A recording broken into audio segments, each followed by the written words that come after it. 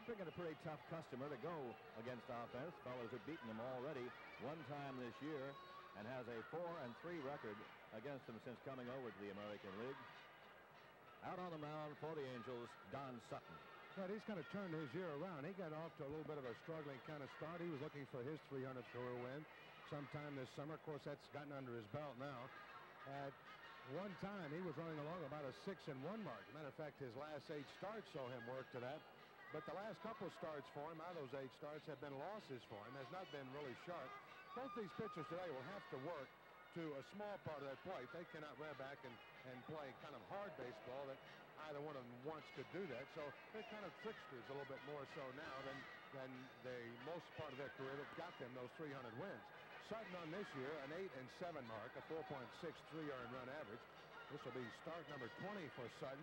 So one thing that is impressive about he and Seaver, although Seaver spent some time on the disabled list, both these guys, even at their age and their many years of experience, still receiving that ball in that locker and going to the mound and making those starts. That is something in itself right there. 113 hits given up for Sutton on 116 and two-thirds inning, walking 24 and striking out 74.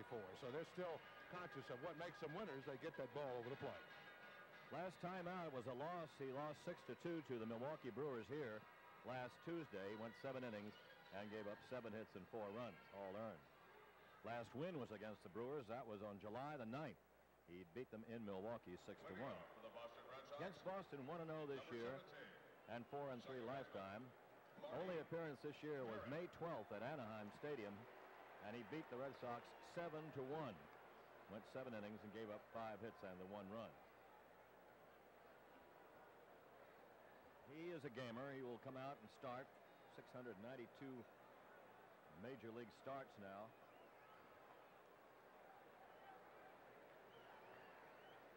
And he has passed uh, already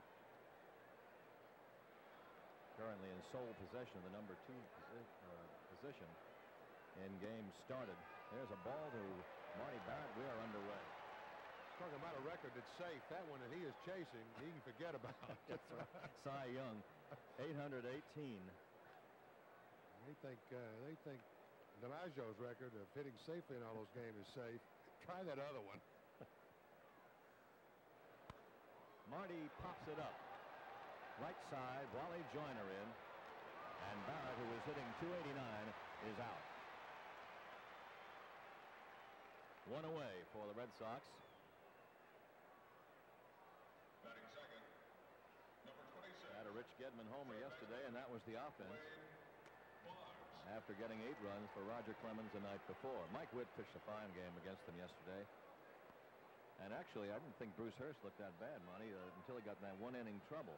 Uh, the first three innings, he looked uh, reasonably sharp. Just that one inning, the two round trippers, costly. Of course, when you're facing a guy like Mike Witt, you know Mike is not going to give you an awful lot one way or the other, and that proved to be uh, even more so yesterday. Wade Boggs takes a ball high. I have to say that neither club got an awful lot of breaks in that ball game yesterday. Some unbelievable things happening in that game. Well, the Red Sox hit into four double plays, and they'll remember one of them. The pop up to Gary Pettis that was dropped. That got that took him right out of a, what could have been a profitable inning. Boggs looks high and inside for ball two, two and one. Wade hitting 355, five home runs, 45 batted in. He's trying to pick himself up a little bit.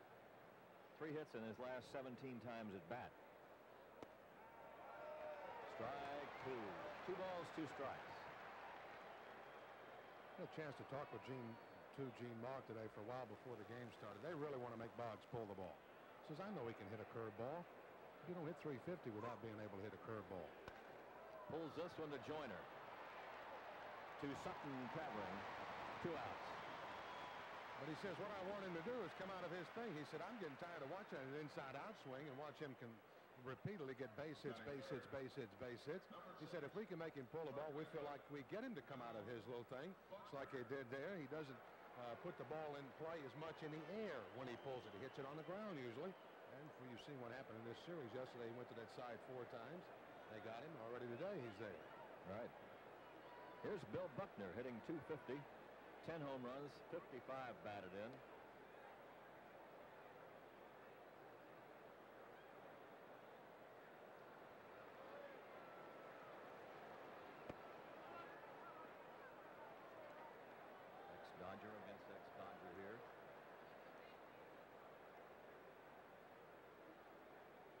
Some high words of praise for Bill Buckner, did Gene Mauch. Talking about the very thing, of course, that we have a chance to watch on a regular basis. The fact that he is a quality pitch hitter, as uh, Gene referred to it. He can get his bat on the ball on the good pitches and get hits out of it. He had a double yesterday, and he's had uh, five doubles in his last seven games, as a matter of fact. Speaking of quality pitches, that man there has made a few in his life. You have to give a little credit, of course, to hitters sometimes, but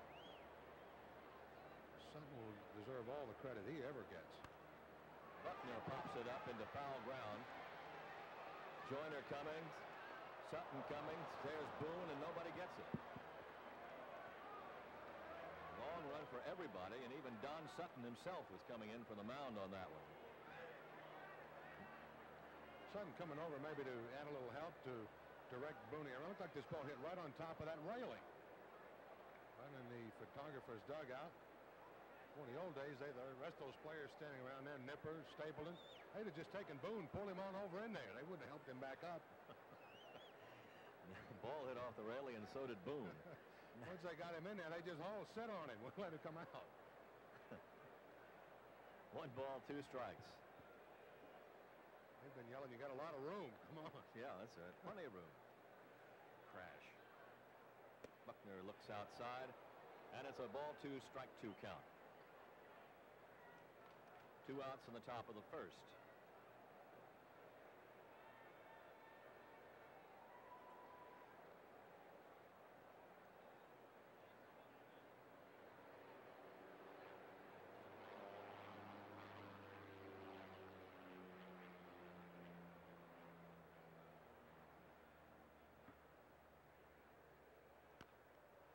Buckner reaching for the outside pitch and fouling it.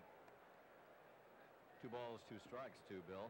Oh, if we can get a quick shot of it real quick, uh, Tommy uh, Tedisco is working the control for us today. Up and way up in the left center field, high in the upper deck.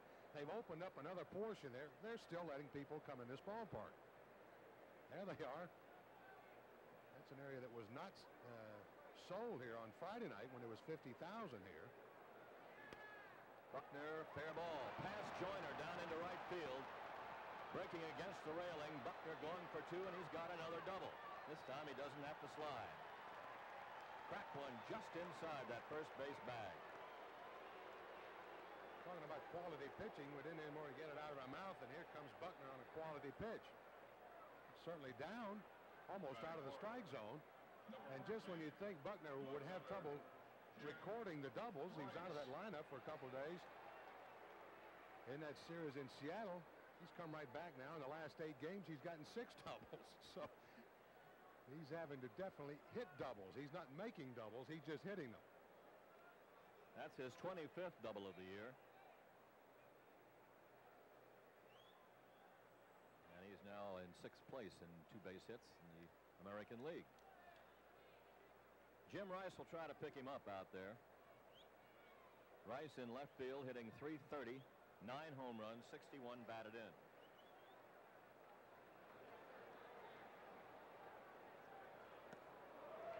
And a strike on the breaking pitch.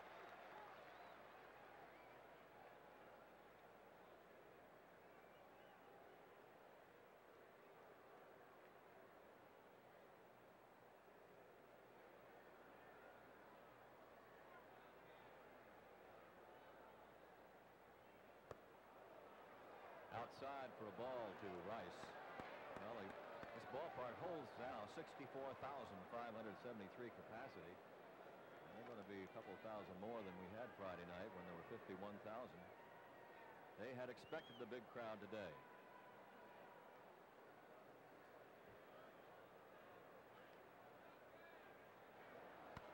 Rice peels it foul first base way. Joyner over. That ball's going into the seats. One ball, two strikes to Rice. Well, there's a lot more reason for people to be coming to this ballpark other than just the Seaver-Sutton matchup. Players like a Jim Rice, a Reggie Jackson, a Wade Boggs, Joyner. Put that together with the fact that these clubs leading their respective divisions.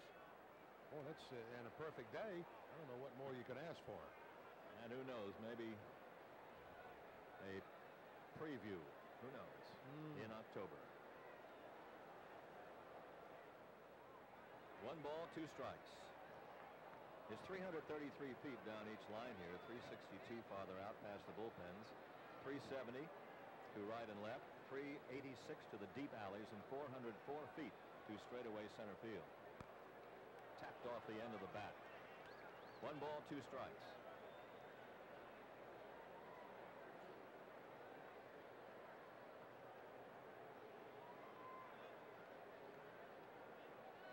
Hearing something talking to that man almost any time you want to sit down and open your thoughts up or your ears up to listen. A lot of baseball smarts and Great recall. Yep.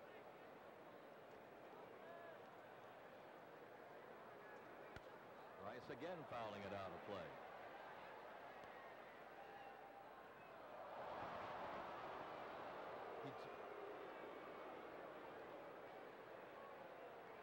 There is the 300 mark. Oh, that's a great likeness, isn't it? That picture done, how that right arm is straight down behind Sutton's back. That is his windup. Doesn't worry about uh, trying to hide the ball too much, particularly from the batter once it's behind him. Although the way Sutton turns his back, the hitter probably couldn't pick up the grip. That right arm from a photograph. could have been. A little bit high to Rice. So Rice giving a pretty uh, that tough at bat with some foul balls on some pretty good pitches, and it's two and two. No, there's something about that number 300. I guess it's all the curves in the threes and the two zeros that make it so attractive in a lot it- of ways.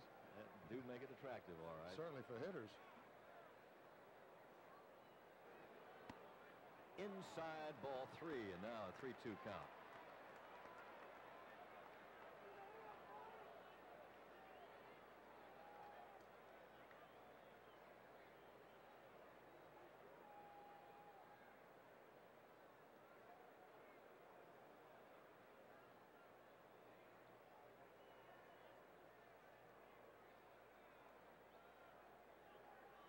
And Fouls this one back with a good cut. Count hangs that way at three and two to Jim Rice with two out in the first inning. No score. Buckner running at second base.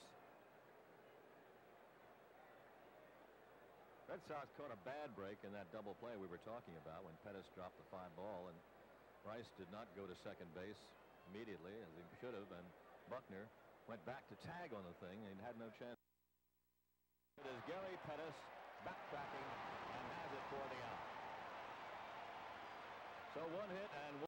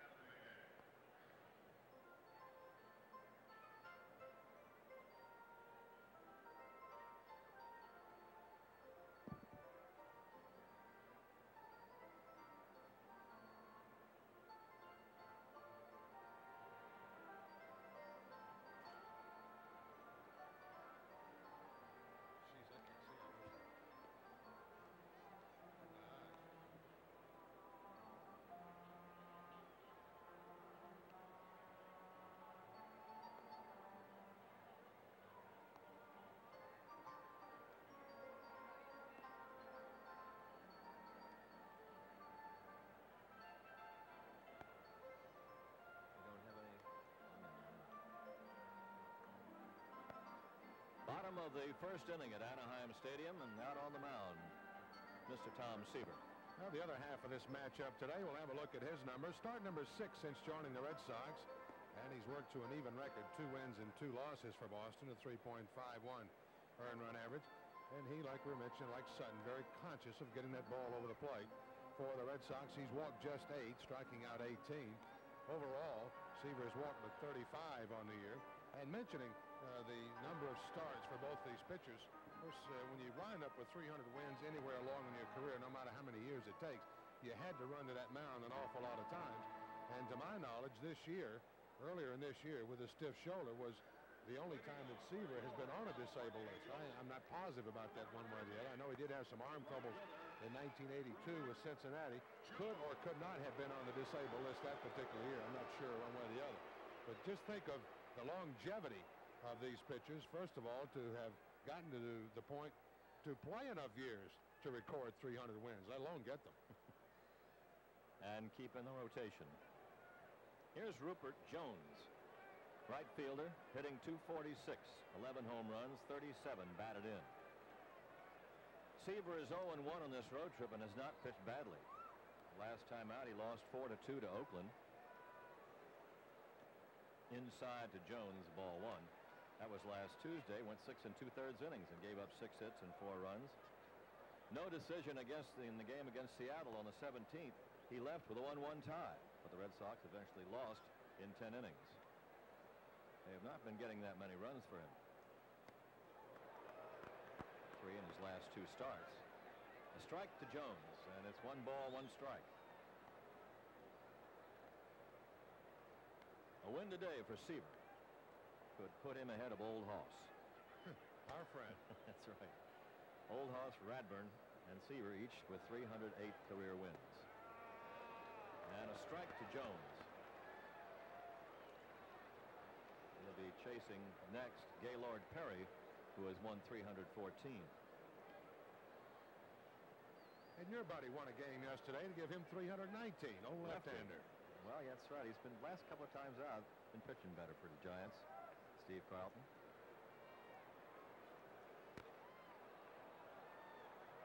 It's a one and two count to Rupert. Well, in one of those games, the one we saw on television in Oakland, he can't help him pitching. He can with his bat sometimes. He hit a three-run homer in that game.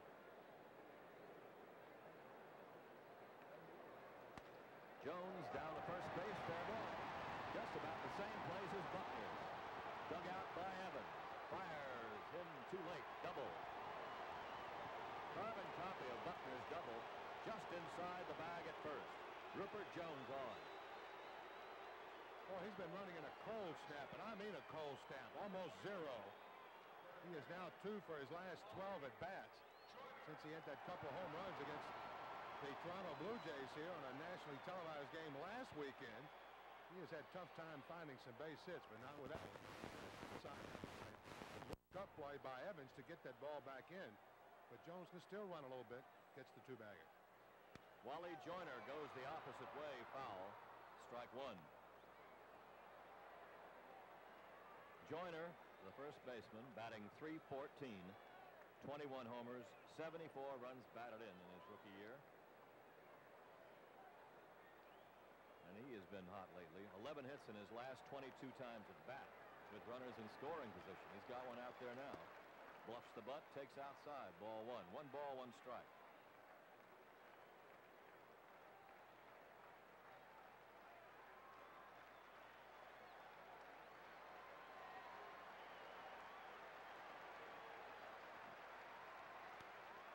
Fly ball, right field, not deep.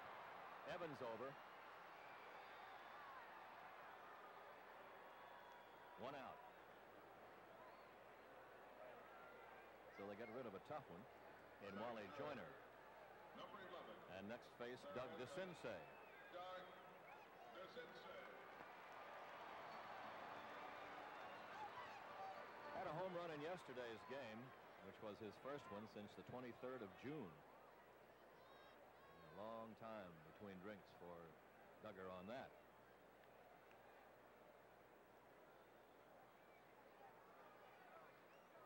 Jones at second base, one down. Left side to Boggs. Two down. Jones has to hold. So Seaver bucks up and gets the next two, Joyner and DeCinces, and now will face Reggie Jackson. Certainly hasn't been easy for Seaver of the first innings he's had lately. Certainly that game in Seattle, he learned a little bit of something about pitching out of trouble in the very first inning if he didn't already know. That's as fine a pitching job as you'll want to see anybody handle in the first inning of a ball game against the Mariners. And then a couple of innings for him in trouble At all the time. Well, he was in trouble most of the time in Seattle, but only allowed one run. The same way in Oakland, but as you've said before, Marty, the, the red flag is waved to the bull when the men got on base against Seaver. Now he faces a guy who's taken him deep twice this year, Reggie Jackson. Hitting 267, nine home runs, and 33 runs batted in. Ball one. Fine matchup here of guys who could meet someday on the steps of Cooperstown. Well, it wouldn't be a bad combination, man. Of course, you're not looking forward to either one of them retiring, but I don't know what it would take for both of them to get in at the same time, but wouldn't that be something? It sure would. Think about it. With first base open here, I think uh, Seaver will win this match, though. Nothing too good for Reginald. You bet. Three balls and no strikes. The on-deck hitter is Brian Downing. Tough on Boston, but a right-handed hitter. And a chance for play at any base if they walk Reggie, which they do. Pitching around him, as they call it. Jackson is on. Jones is at second, and Downing the batter. Brian Downing, left fielder, 273. 11 home runs and 52 batted in. He has gone into a bad stretch lately, though. Along with the rest of this club, this Angel club has not been hitting either. Two hits in his last 21 times at bat with runners in scoring position. And struggling right now through a three hits and 26 time at bat stretch. Ball one.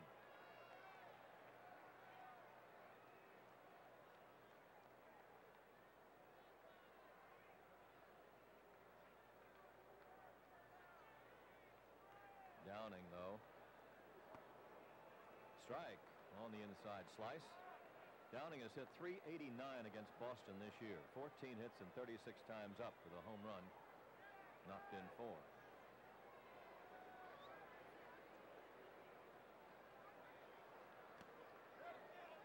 A ball. Nope, a foul tip. It tipped his bat foul for strike two. One ball and two strikes. Well, it's a little unusual that you see the inside chest protector worn by an umpire. Of course, they all wear it now. That he would go to the outside part of the plate, but apparently McClelland could not see over Gedman's left shoulder. Down to Boggs. Over to Barrett, and Seaver gets out of it. The opening double does no harm. And after one inning of play, there's no score.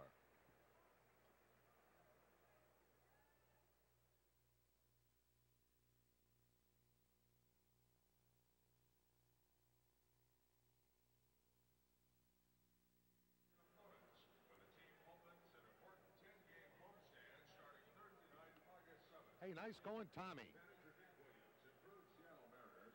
Visit Oh, you had all that stuff, man. You had them people coming into the seats up there. arch You had all of it.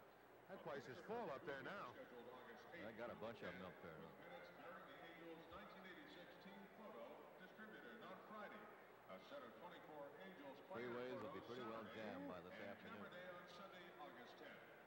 The following Saturday, August 16th, is portable radio night with the first 15,000 adults Here, receive an this Andy game, beaches, everything. compliments of KMPC. There's still plenty of good tickets remaining for all games on the stand, and they're on sale now at the advance windows. Thank you. Necro seven and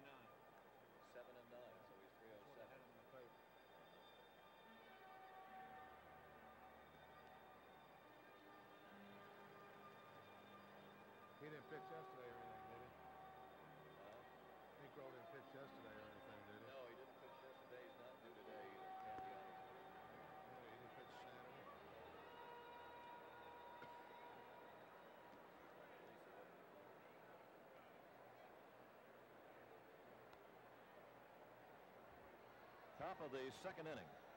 Nothing, nothing. And Don Baylor, Dwight Evans, and Tony Armas will be at bat against Don Sutton.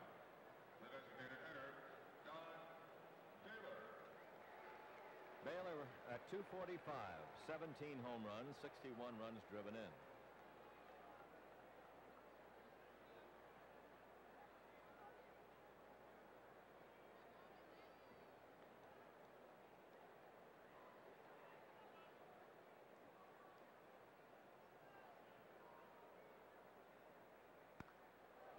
Rifles the foul deep to left. Strike one to Baylor.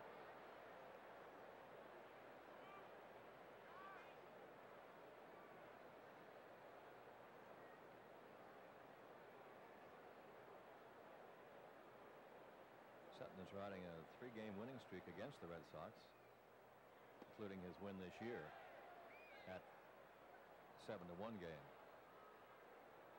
One ball, one strike to Baylor.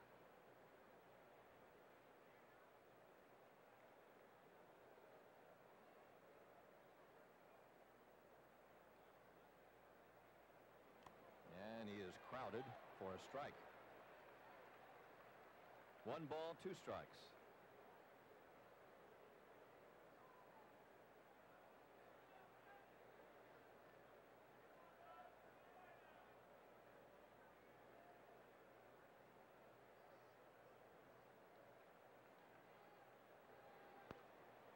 Pop foul coming back out of play.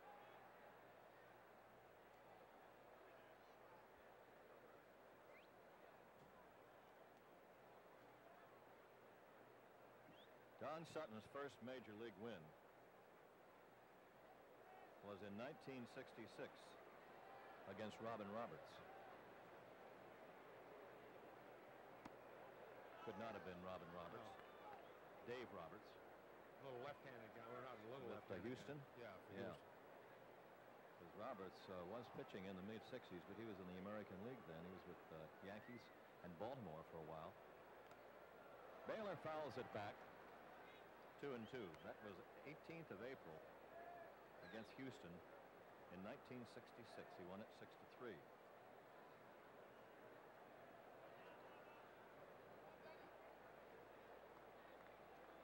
His 100th game was on the 22nd of September. Baylor strikes out. So they fool around inside, outside, and up and down, and finally strike Baylor out. The first strikeout for Sutton. Batting six, number 24. Well, we definitely see Baylor do something here he just doesn't do. You may get him to chase the ball out of the strike zone down or weigh in on him, but rarely do you see him trying to get to that pitch up there. Says a little something for Sutton's ability to move that ball around and give you a little deception. Well, here's Dwight Evans, who has taken the team lead in runs batted in with 63, 13 homers, and a 259 mark.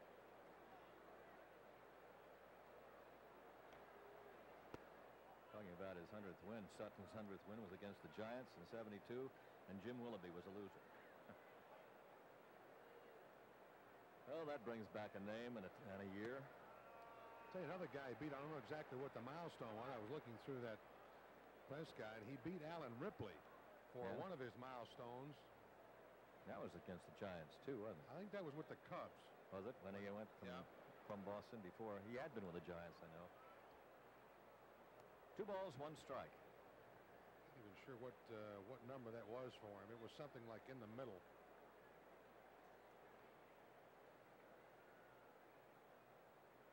It's a 2-1 count to Evans. One out in the second inning of a scoreless game. And these first couple of innings have been long affairs for nothing much going on. A couple of doubles here and there. Evans takes the breaking pitch for a ball. Three and one to Dwight. It was his career win number 250 when he beat Ripley against the Cubs. Uh, beat him five to one at Dodger Stadium.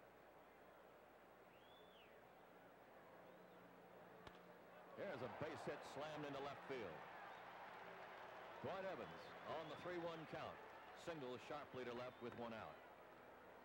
Red Sox have not had a lot of offense working, as we've mentioned a couple of times in this road trip. Dwight Evans, the only Red Sox hitter to have his average on this trip over the 300 mark. As a team, they've hit just a bit over 230, somewhere around 234.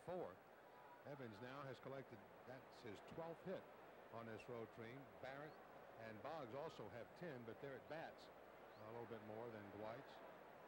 Boggs near the 300 mark. He was something like 294. Tony Armas back in action after the 15-day disabled list because of a thigh muscle, a pull. And playing center field and batting in the number seven spot today. Tony at 275 with four home runs, 19 batted in.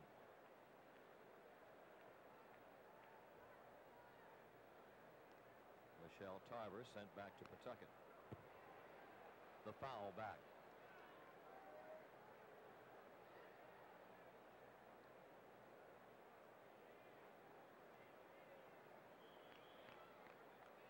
Some more people coming in. That was one little section they'd held in reserve for some reason up there. VIPs. well, I don't, I don't, I doubt that. They're going to fill that up now. They'll have close to 60,000 here, I would imagine. Well, they ought to have. If they don't. Sometimes out here you wonder if they know the Angels are here. Sometimes they've had good ball clubs too. Tony hits one high toward left field, but not deep enough to get out of the ballpark. Brian Downing shielding his eyes makes the grab. So Armas flies to left. Evans back to first. There are two away.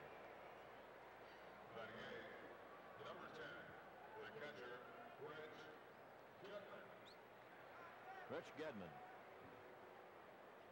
has had the homer swing in this series, two in two games. Eight homers all the year and 39 runs batted in for that 268 mark. Put the Red Sox ahead briefly yesterday with his home run.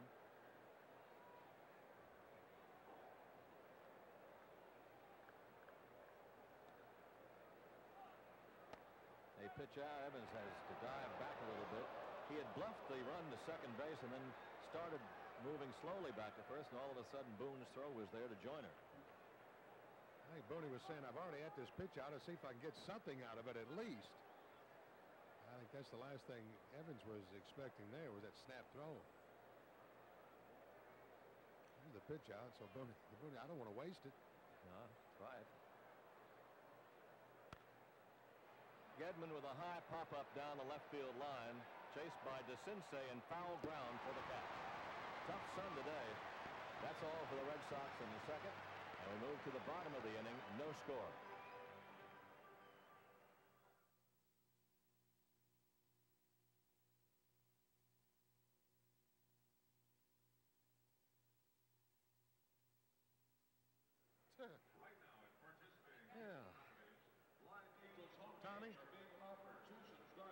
Can you get a little closer to that microphone when you talk to us? I couldn't hear what you said.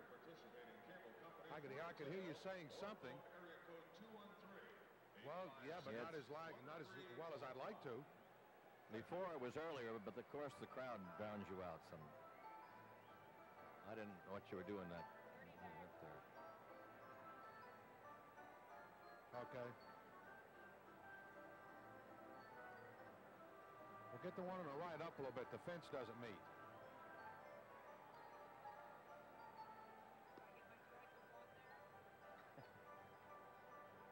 A little of each, honey.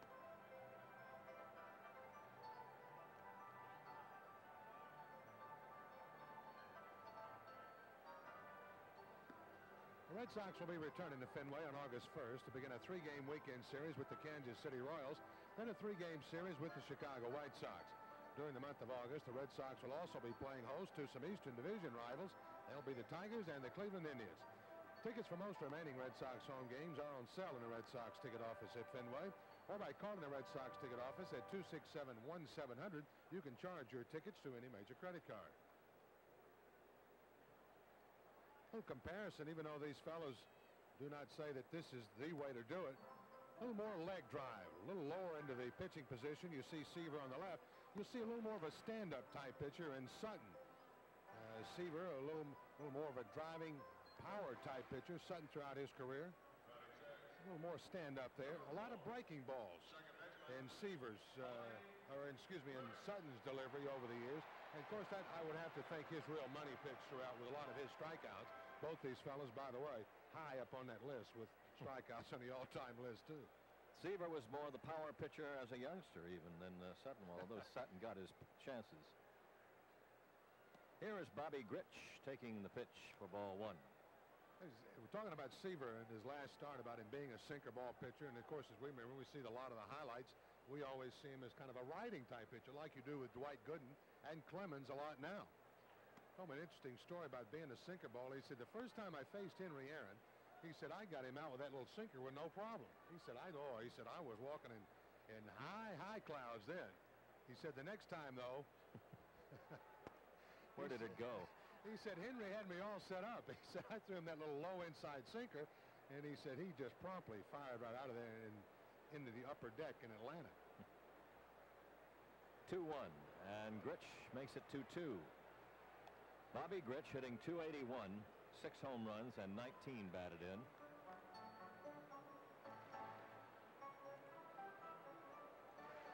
Seaver said that's when I, I figured that sinker was going to need a little something else to go with it.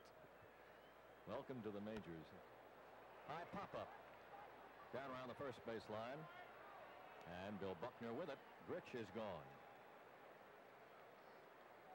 One out in the California second. Batting seven, Bringing to the plate Bob Boone. the catcher, Bob Boone, the catcher, hitting 210. Three home runs, 21 batted in. Boone, two for his last 18. And 0 for his last 13 with runners in scoring position. Now it's down to shortstop to Quinones. Makes the throw as strong as he has to with Boone running. Just kind of gets it in there accurately for the second out. number 22, the shortstop, So Seaver's taken care of the first two in a hurry. And now we'll face Dick Schofield, who had a three for three afternoon yesterday.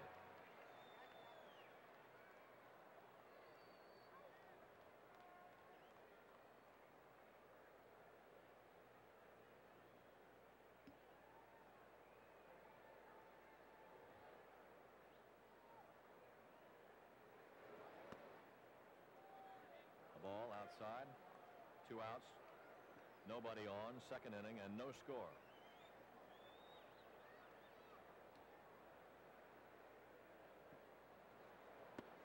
Wave and a miss for a strike. One ball, one strike.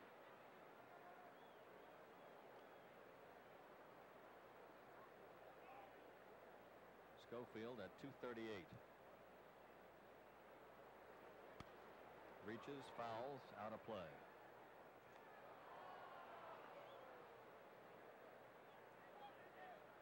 Red Sox take off, and so do the Angels after this one. The Angels go up the coast to play the Oakland, Seattle, and then Minnesota routine. Red Sox head for Chicago and their last city on this four-city road trip.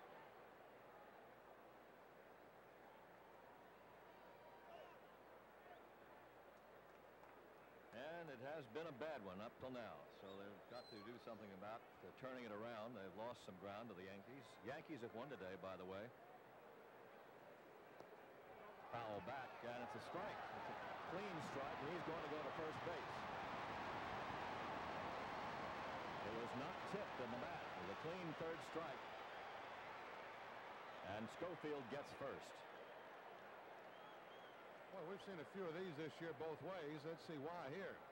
Well, Getty just simply didn't catch the ball. That glove started one way, and he had to turn it back over. A little late getting there with the glove. As it go right off the tip of his glove to the backstop. Schofield realizes that he didn't foul tip it. He'll take off for first and make it. I think they have scored that a wild pitch. Yeah. Strikeout for Seaver and a wild pitch charged to Tom. Schofield getting first base. Gary Pettis is the batter. The strikeout for Seaver was his first. Pettis hitting 245. The center fielder batting in the number nine position. Up there with two out and a runner at first. Hits the corner for a strike. No balls, one strike.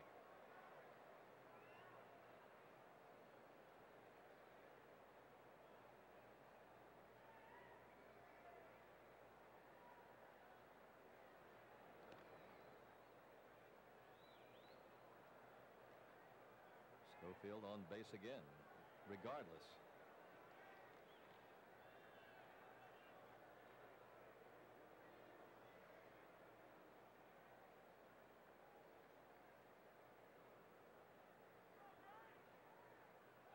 Runner takes off, fired down, and he's safe. Keeps the throw from getting into Barrett. Stolen base for Dick Schofield. And it was a good throw, too. Certainly was. Has to be on the jump or just the speed, although Schofield does not look like he's that quick. Gedman handled it quickly. Marty just simply couldn't get the tag on that sliding straight leg as what? Perfect throw, but Schofield was there. One and one to Pettis. Make it strike two now. One ball, two strikes. That stolen base for Schofield, his 15th of the year, and 14 in a row for him.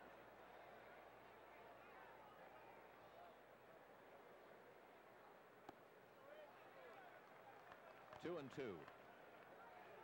Nothing, nothing game. Here's McNamara talking to the first base umpire, Larry Young.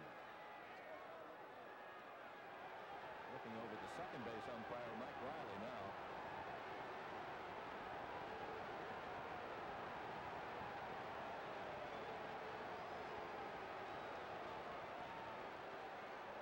Riley going back to his position, so is Young. Needless to say, this umpiring crew is not very popular with either manager. A couple different times on this West Coast swing. Two and two the count to Pettis. And fed outside ball three.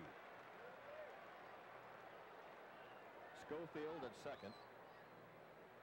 Two out.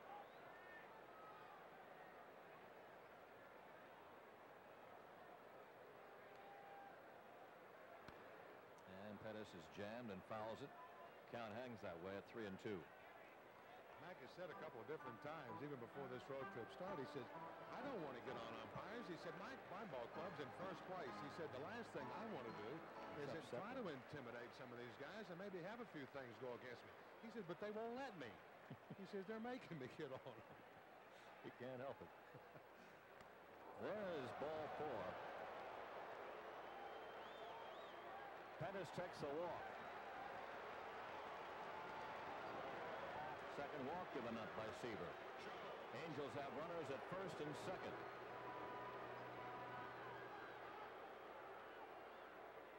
It hasn't exactly been a bed of roses since the All-Star break for uh, Mr. McNamara. Rupert Jones is the hitter. Doubled in the first.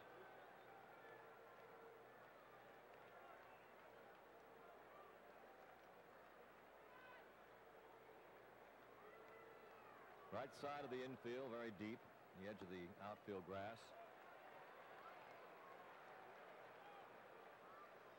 Tony Armas shading over toward right center a bit on Rupert.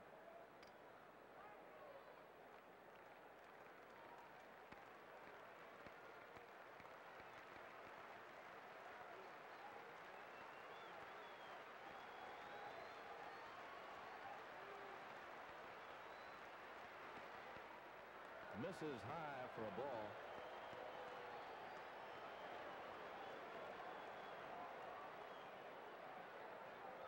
Two and oh count now to Jones.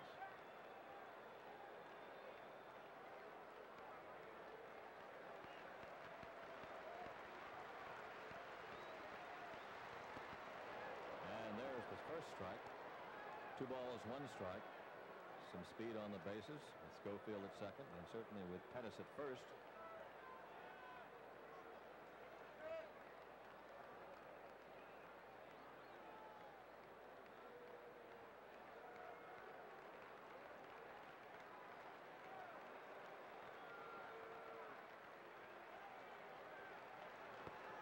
Strike two. Now Seaver has come back to a two and two count.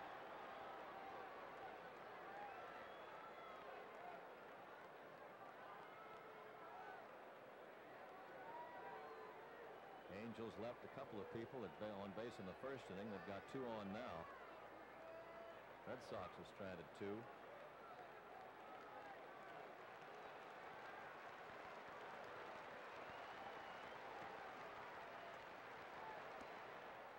Down low for ball three. Now, another 3-2 count for Seaver.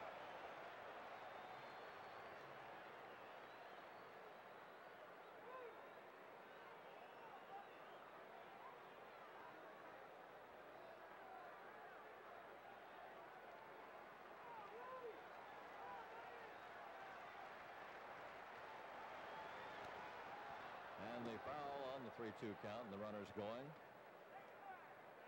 Seaver got the first two men easily this inning, Grich and Boone, and then actually had the third out when he struck out Schofield, but the ball got by Gedman for a wild pitch. Schofield lived, stole second, and then Pettis walked. Now three and two to Jones.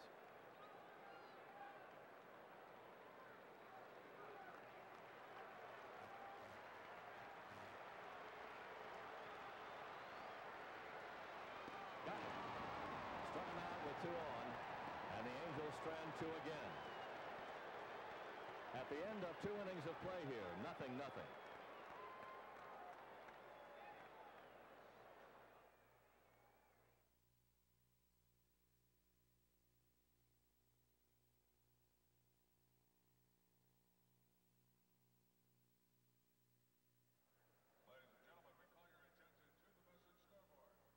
Tommy, you have a you have a clue what that was about?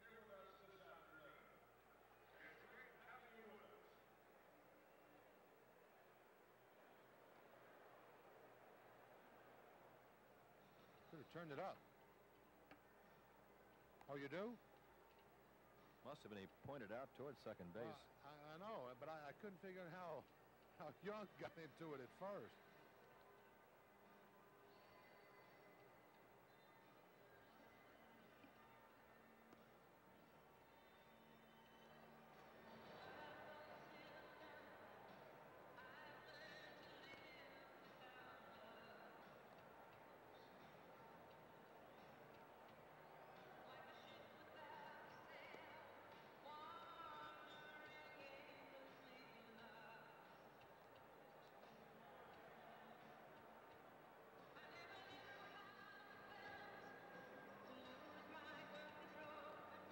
This copyrighted telecast is presented by the authority of the Red Sox and TV38, intended solely for the private non-commercial use of our audience. Any publication, reproduction, retransmission, or other use of the pictures, descriptions, and accounts of this telecast without the express written consent of the Red Sox or TV38 is prohibited. Yankees beat Minnesota 4-1. Guidry beating Blyleven, and Guidry had nine strikeouts in the five innings he worked. He was picked up by Scurry and Righetti. Hatcher homered for Minnesota, and Washington also hit a home run for the Yankees. Here we go, Monty. Nice spot hitter up for the Red Sox as we go to inning number three. Red Sox have sent four hitters uh, to the plate in each of the first and the second inning. A hitter in each inning. A double for Buckner, a single by Evans. Buckner's double after two outs.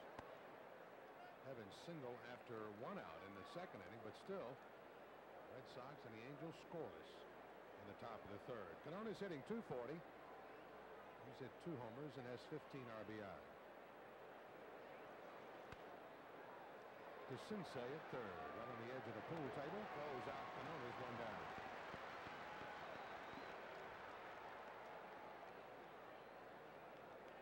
So we'll go back to the top of the order now. Marty Barrett. He popped out to Joyner leading off the Red Sox first.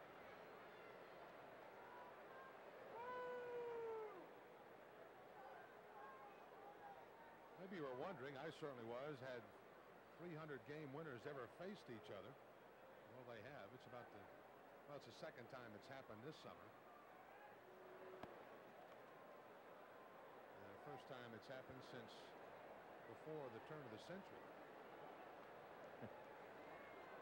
Look at the names of those guys. Oh, boy. Pud Galvin. Pud Galvin. Fly ball, lazy fly ball, curling up into the seats and out of play. Earlier this year, Sutton faced Phil Niekro. That was on June 28th, right here at the Big A. Angels won that ball game 9 to 3. And actually, Sutton and Seaver have matched up previously, uh, previously this year, but Sutton at that time had not become a 300 game winner.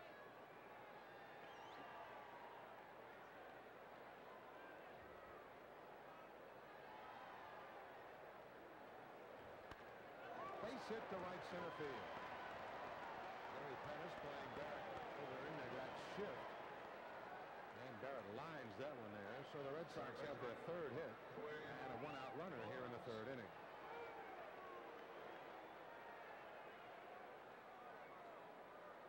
Well, let's see if they continue to try to make Boggs pull the ball now with that hole on the right side, or would they shift a little bit, maybe trying to get him to go the opposite way? Joyner, of course, will hold Barrett one down. Well, it seemed like they use a little more of the outside part of the play. But with the first pitch to Boggs, that's kind of a given pitch to a pitcher as far as Boggs is concerned anyway, 0-1.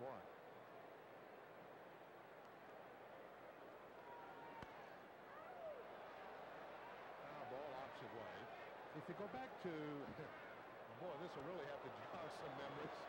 July 21st, that's, well, just six days ago, and then 100 years ago since then.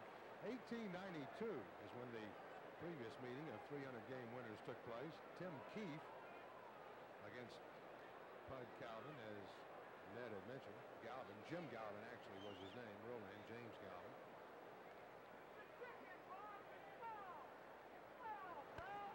Fly ball center field. And Gary Pettis again positioned just about right. Hauls this one in. Boggs is out number two. Barrett returning to first. One thing that may be a little bit interesting to you here one way or the other. In 1892, pitchers only threw from 50 feet to home plate. So if that is any dividing line that makes a difference between these two 300 game winners and that matchup back then, I don't know. I would hate to be thrown to at 50 feet by Tom Seaver in his prime. Oh, I would imagine both these fellas could rush it there pretty good too. Keefe and Galvin. Galvin, a winner of 361 career games. 1893 is when they changed and started making the pitches work from 60 feet 6 inches. That's when, yeah, that's when the whole business, I think, really resolved itself on the distances and everything. Alexander Cartwright really was the guy who seen, invented the game, I believe, as it is now, not Doubleday. But Doubleday is a good story, and Cooperstown's a lovely town. So. we'll just let that go at that. Buckner double his first time up, two outs in the first inning. Buckner wound up at second. Red Sox have two outs here with Barrett at first, and we're scoreless in the top of the third inning.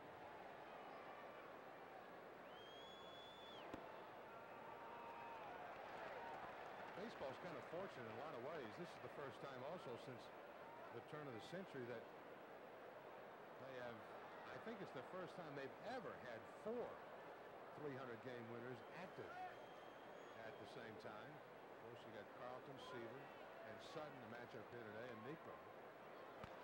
Buckner back at the turn of the century, and I know of three, and I, I have been told that there was possibly another one. However, I cannot find out or verify for sure. Charles Radbourn, uh, the man that Seaver's tied with now, of course, active with 300 games under his belt. So was James Galvin, along with none other than the all-time game winner himself, Cy Young. All those people active at right at the turn of the century or just after the turn of the century. Buckner again, this time off the glove of Joyner. This ball headed deep in the right field. Barrett at third, they were holding there, and Buckner has his second double of the game. Boy, one of the few times that you do not see Joyner get a glove on the ball, and it's happened twice here today, both times off the bat of Buckner. Bill just ate Wally up with this one again, this time even more so right toward the line. Down in there, flicked past him, and down into that double territory. Chased by Jones, get a nice relay, and uh, got it back strongly on a relay from Joyner to home. No chance at all for Barrett to come on. Running the bases, though, as if he would have had a chance. Any muff of that cutoff play or the ball's thrown low may have had a chance to score. So they'll stand at second and third, two down. Here's Rice.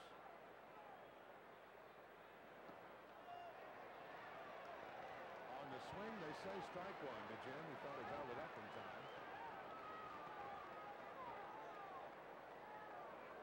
Rice on a medium deep fly ball to left center. No question about the pitch being too low. The swing was there, though. 0 1 to Jimmy. Nice whistle. Fouls that one off.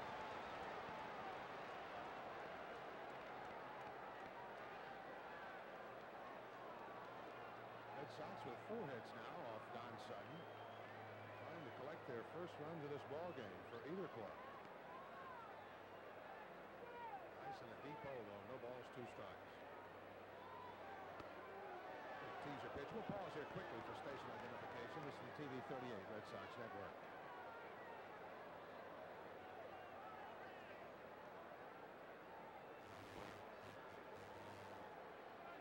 Back at the big A, runners at second and third, two outs, one ball, two strikes. The count on Jim Rice. We're scoreless.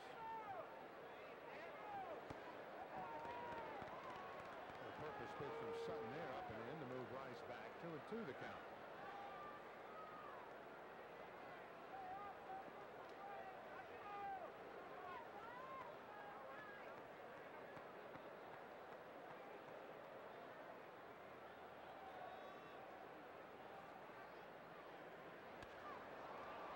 Down the right field line, Rupert Jones a long run into foul ground now. Does he have the ball? We'll have to wait. No sign as yet. Apparently he doesn't have it. He'd be showing it to someone. Meltzer does not get to it. Either that or it was just snatched right out of his glove. Don't think he quite got there. He kind of hung over after making a good effort at it. A foul ball down there. Had a long, long run for Jones. A very little foul room there. Just out of his reach, and he hung himself over the railing after that. The fan got his mitts on it before Rupert Jones could get his on it. Nice play. He's an Angel fan, too. Yes, and not Did right for that one, possibly. Just making an announcement about not interfering with the ball in play. Specifically after that play. Well, that's borderline where that ball was on his side of the line or on Jones's side of the line. It still could have been handled by Jones, though, I think, had that fan not interrupted. Two and two to Jimmy. And now the count is full. Three balls, two strikes. Sutton kind of careful with Rice both times now. Both times for Rice, he has had 3-2 counts. This time, though, with first base open. I want to get into Jimmy even yet with runners at second and third. Goes for a bad ball. It's bounced to the at third. Good on Rice. And Sutton gets out of the jam here in the third inning. Couple of hits for Boston. They did not score. They lead two and now left four on in three innings. And after two and a half innings of play. California nothing and Boston nothing. Ladies and to find out details regarding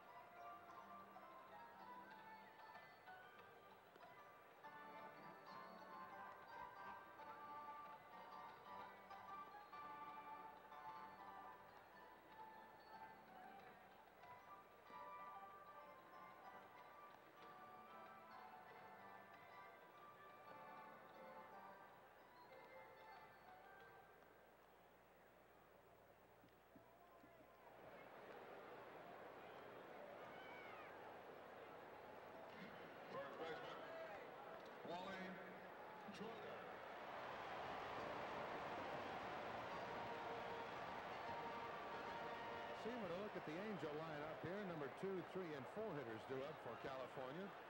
We're scoreless as we go to the bottom of the third inning. Joyner, the first baseman, first up. He'll be followed by DeCinces and Jackson.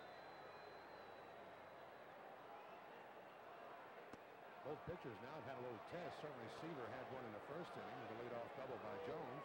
He did not score. A couple runners on in the Angels second. Got out of that by striking out Rupert Jones. And that last little test for Sutton runners at second and third and a Boston third, and they did not score. One and one to Joyner.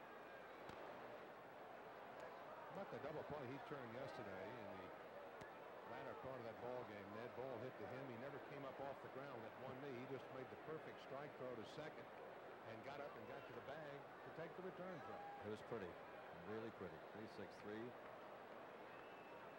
Left-handed throwing first baseman's not an advantage. Broken back, Looper to right field, base hit for John. He's got first, he's going for two.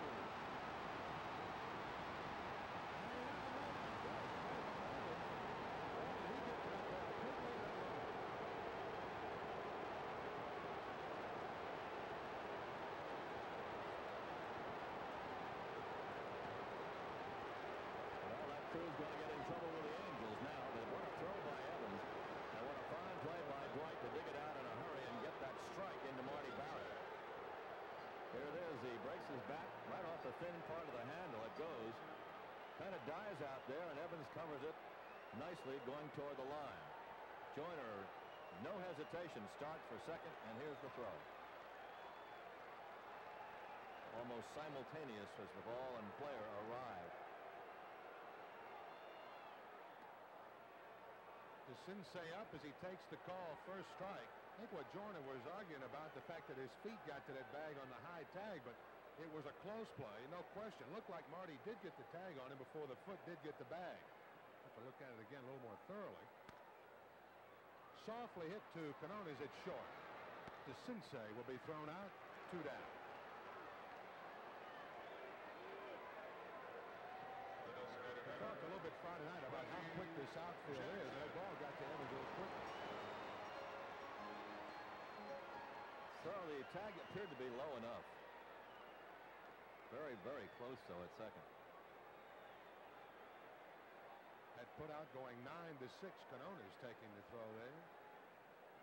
Here's Reggie Jackson with the bases empty, two down.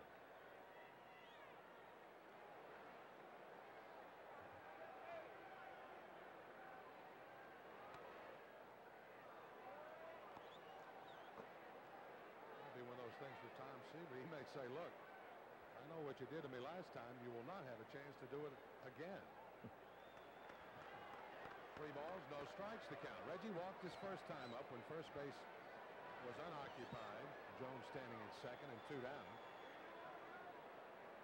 Seaver opted to work on Downing and got him into a fielder's choice going 5-4. There's ball four to Reggie.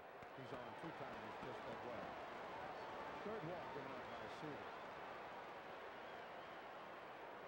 Left fielder, Brian Downing. Nothing wrong with that kind of play. The guy that you figure can beat you or get you behind in a ball game. No point in letting it happen.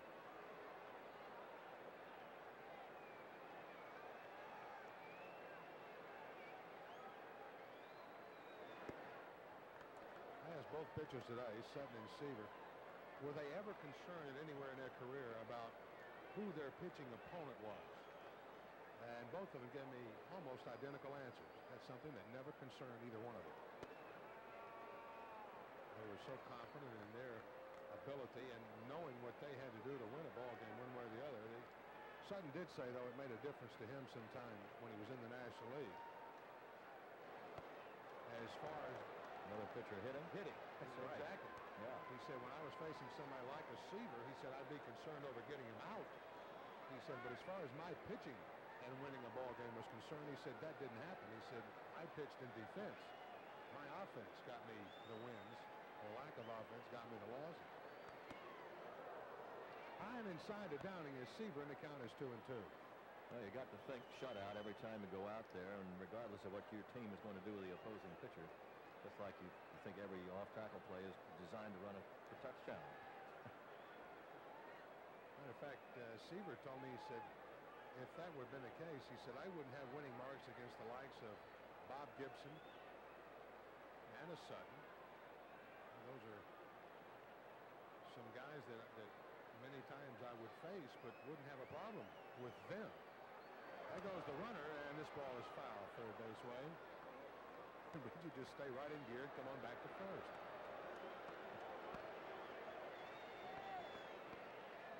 took stride.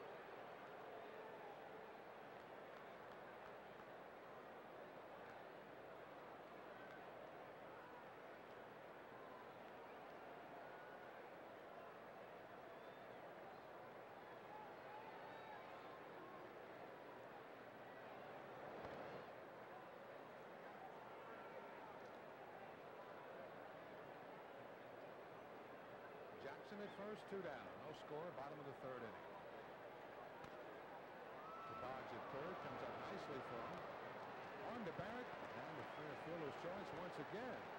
Used by Downing, and they'll retire the Angels in the bottom of the third inning. They have a hit and one left, and after three full innings of play, no score.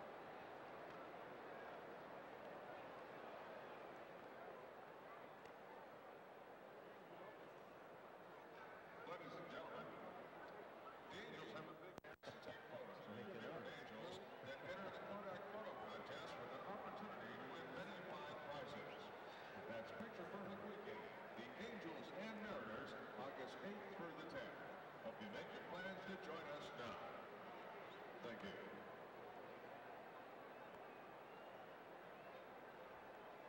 Ladies and gentlemen, we'd like to extend a special welcome to over 500 Feuding mine owners think they've both hired a notorious gunman. Uh, James Garner stars in Support Your Local Gunfighter Monday night at 8 on the Movie Loft here on WSBK TV 38. You can join the Red Sox on a seven-day cruise. It'll be coming January the 18th, 1987. And you'll be aboard the Royal Caribbean Cruise Line Song of America. Not only will you be sailing the Caribbean ports, but you'll have a chance to enjoy a softball game. There'll be special parties, photo and autograph sessions, and more. Call 1-800-225-5423 or make that 5432, I'm sorry, to reserve your stateroom today. Little bend in that breaking ball, but doesn't get in there. 1 0 to Donnie. Hello, Beacon Falls. Sometimes you wonder, and not today though, I don't think, Ned. A lot of times we've been in this ballpark that the Red Sox fans have outnumbered the Angel fans, but I don't think that would be the case today. No, there's they're in a definite minority, but they, it's a vociferous minority. That You've heard a lot of cheers so far for Boston. It is a beautiful crowd here. Pretty to look up, and I will assure you as a player, it is especially pretty to look up and see that many seats filled. Baylor goes for the breaking ball once again. He's down in the count, of ball and two strikes. Here's some of the Boston rooters here. I don't remember seeing this place this full since No. those new seats were put in. Football seats. Sutton once again staying right with that breaking ball is even in the count now with Donnie two and two. Baylor strikeout victim leading off the second inning for Boston. In the third, runners as far as second and third with two outs could not deliver them as Rice bounced out to DeCinces. A couple of masters being masterful here this afternoon so far. And strike three, Baylor's gone for the second time. That ball right on the outside corner, and Baylor's going to have a little word with Tim McClelland behind the plate.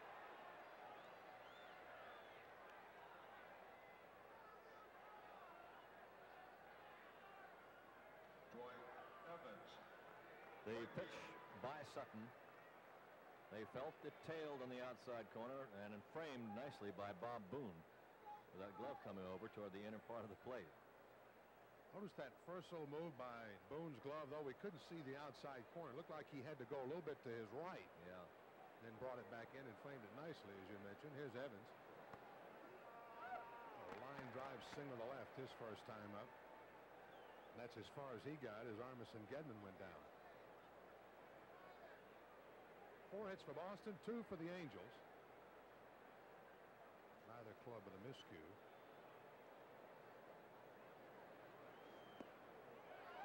Bobby Grich did make an error at second base yesterday. And five or six guys run around here with badges today trying to find out why and how. Just a routine ground ball. Not supposed to be done. Only the Angels' 50th error of the year.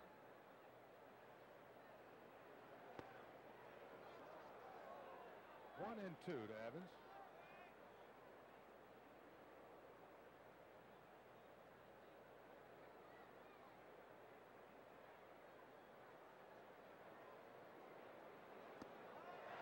Hmm.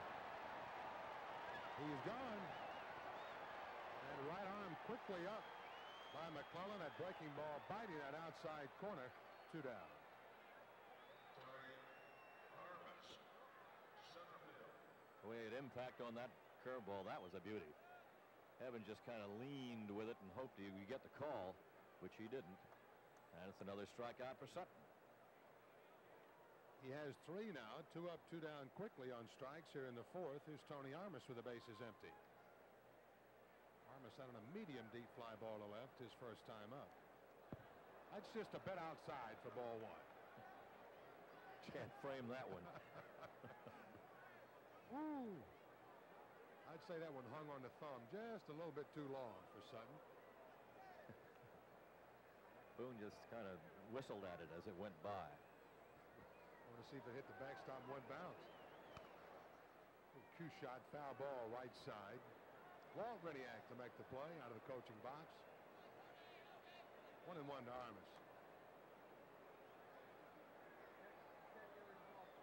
Sutton had a career milestone in mind. Had a chance. He wanted to, of course, break the win record of the Dodgers. Base hit to left field by Armas. Boy, what a ringer that was. So Armas kind of picks up right where he left off because when he got hurt, those are the kind of base hits he were getting. Those hard line drives between short and third. Tony got the ball a breaking pitch too and nailed it.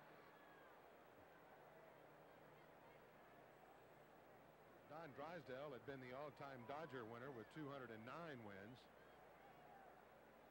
Roger Clemens, maybe his eyes somewhere along the career 300 mile. I don't think there's any point in a career, certainly early part of a career, that a pitcher would ever say that because you mentioned longevity. Certainly that would be in there. Sutton told me once he had broken that Drysdale record that his sights were on 300 and he would start working for that mark. But the biggest one for him. Oh, a little action again coming out of the Red Sox dugout. And McClelland may have heard enough.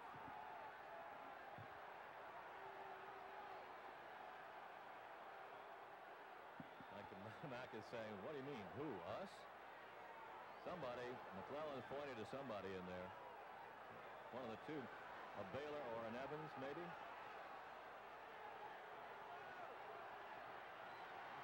Threw out. Rice.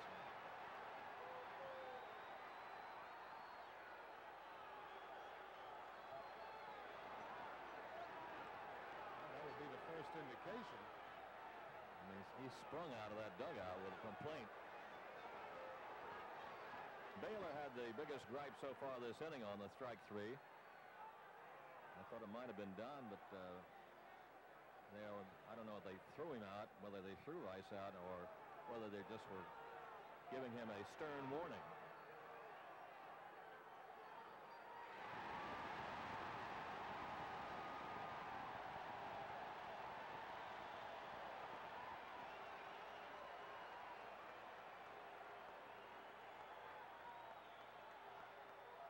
Well, I would have to say that from the response of the crowd that someone has been ejected, but Any notification of it.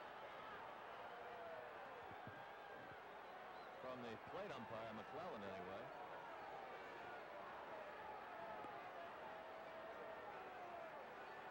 As soon as Rice turned to the dugout, the big roar broke open. Hurst now is trying to maybe take up for somebody. He's yelling out of the dugout. It was me that was yelling, not Rice. Hurst is all right. You know, don't mind if you eject Hurst. You don't want to get anybody thrown out. But you can afford to lose Hurst out of a game over a Jim Rice.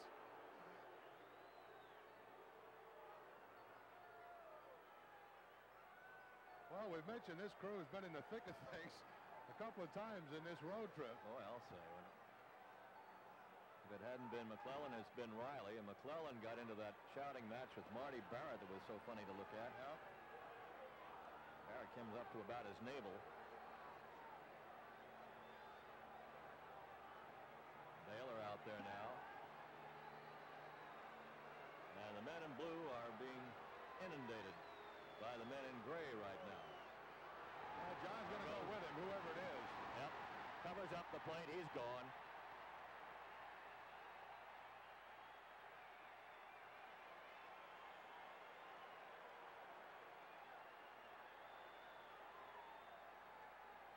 McClelland was a guy at the plate when Barrett got into the argument with him. Well, all kinds of things messing around home plate today. If Rice were yelling from that dugout, I would find it really unusual. He wouldn't have any reason to be yelling at him about any plays at the plate. Now the Red Sox doing a little throwing out of their own. Yeah, Helmets flying out of there. Two helmets now. That looks like Rick Burleson is in the wrong dugout.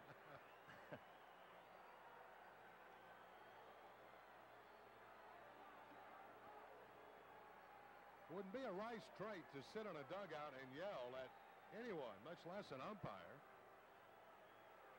Now the lineup card being exchanged now from John McNamara to third base coach Rene Lachemann. Well, manager's gone. I guess that's number three for Mac this year.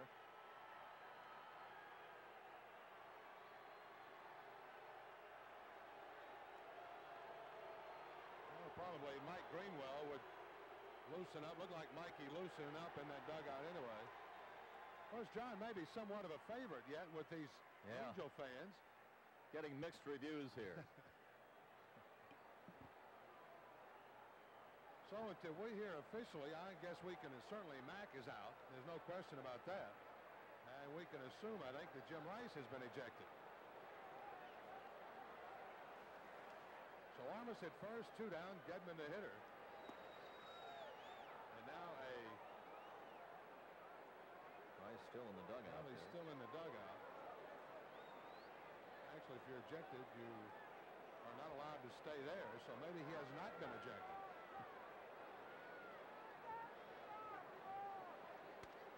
Gedman reaches for one, chops it to Schofield. And short, he'll change his mind and then go to first to take Gedman. And the Red Sox fourth inning is over. They do not score on a hit. They leave one. And after three and a half, there's no score.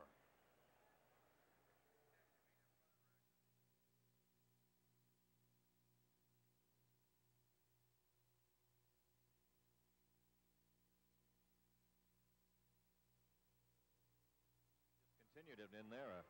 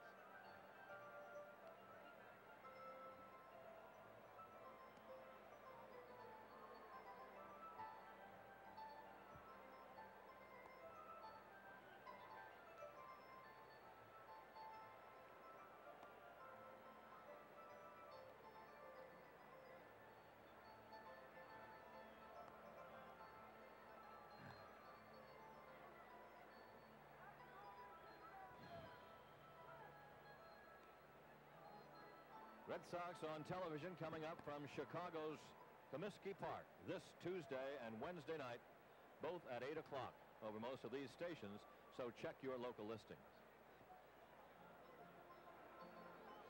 Well, we have learned now that it was Don Baylor who was ejected from the game. Baylor was the one who would have had a little bit of discussion with the plate umpire, Tim McClelland. That was about the call strike three to Donnie leading off that fourth inning. The discussion is continuing now between McClelland and Rene Lachemann. Lachemann, he's acting manager. I'm gonna stay around, Latch.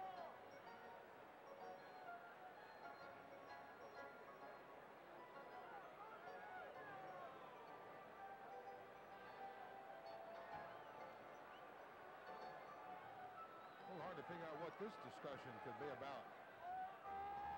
Right here. I'm surprised that McClelland would have taken himself over to that dugout, maybe to get drawn into something. Well, Lachemann's very definite about what he's talking. McClelland may have wanted to go over there and find and maybe what Lachemann is saying, I don't have to tell you who he is until it's his turn to hit again. I don't know. That I couldn't figure out what else they could be talking about. Mauch, of course, as a as a manager would like to know who the DH would be Right. because if you got to that point in the ball game, it may make a difference who you wanted up as a reliever throwing. I don't know if you have to uh, designate who that hitter would be until his turn to hit again. I get you suppose not. I mean, it would be well, maybe you would on the ejection. Well, he's, I'm not he's sure. put into the he's put into the lineup. I mean, it's not just like a pinch hitter. Um, I don't know. I well, we saw Greenwell around there starting to talk with bats and everything. He may be the designated hitter. Who knows? Well, it'll be a while before he he's got a while to get loosened. I'll say. yeah. to go almost all the way around the order. Baylor leading that fourth inning off. Whatever it is, the discussion continues, and it's gone from both sides to the Red Sox dugout and then over to the Angel dugout. Now here comes Lachemann again. He's got a rule book. That may be what they're talking about. Could be. I would think that would not be the only uh, possibility. The fact that a change has been made. Oh, the game is being played under protest now. But who's protesting? Angels. The Angels. Why are the Angels? Maybe because I don't know. That's as good a question as we've had all day, though. yeah, this is a mess here.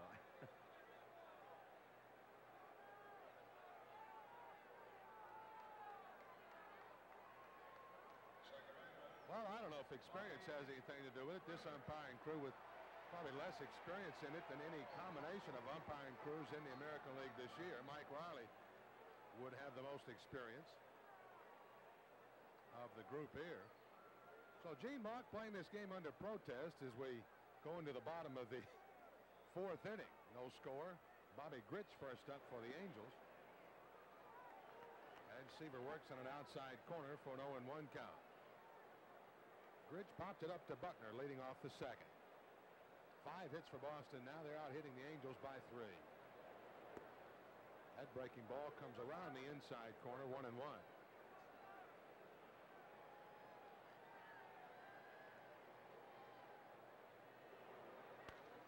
High, deep drive center field. Armas going back, back. He'll watch it sail. Touch them all, Bobby Grich. One to nothing, California.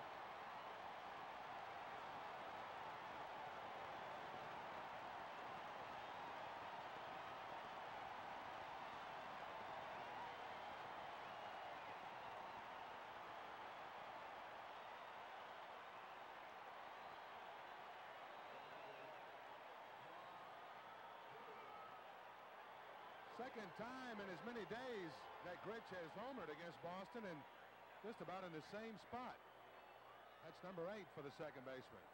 Bob Boone fouls that one away 0 and 1.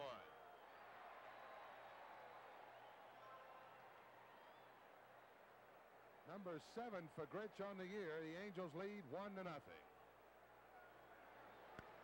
Boone to the right side, base hit.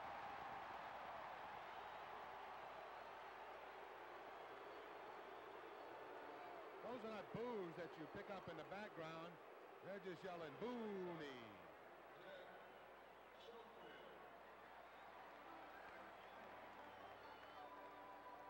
Boone just wanted to shoot that ball to the right way. Took that pitch inside out, had to swing on it, delivered it into right field.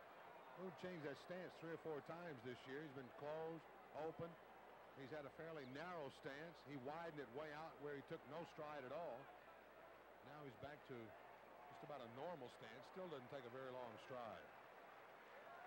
So the Angels with a run in and a man on, nobody out. Here's the shortstop, Dick Schofield. Struck out. It was on a board with a wild pitch. He squares to bunt. It's way outside. 1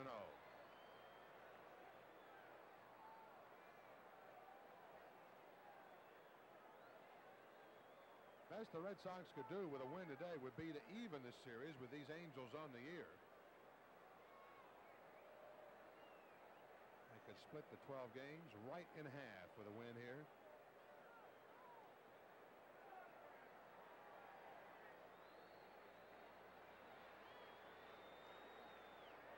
One and zero to Schofield.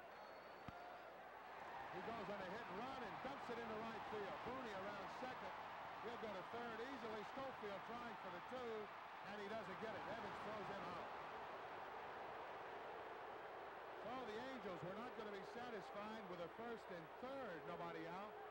Schofield tried to stretch that into a double, and he'll be knocked down by Evans. Evans' second assist in this game. Ball just drops into shallow right field as Evans chases it down and again they're thinking two base hit and again Evans guns him down. So Evans with two assists, one on Joyner and now one here on Schofield. That gives Dwight eight outfield assists this year. Evans has always had ideas about being a pitcher. Boy, he's had a couple of nice deliveries today to the bag at second for sure. So the Red Sox infield will play about halfway. Now back up a bit on the right side as Gary, Perry, Gary Pettis is the hitter with Boone at third and one down.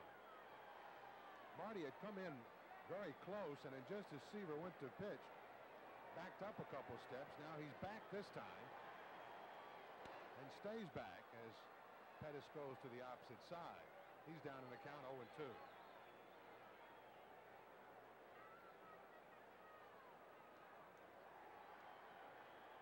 So if there's a certain thing as being having a hitter in the right place at the right time, it would be Pettis here. He is the Angel most likely to strike out at any given time. That pitch way high from Seaver. One ball, two strikes to Pettis.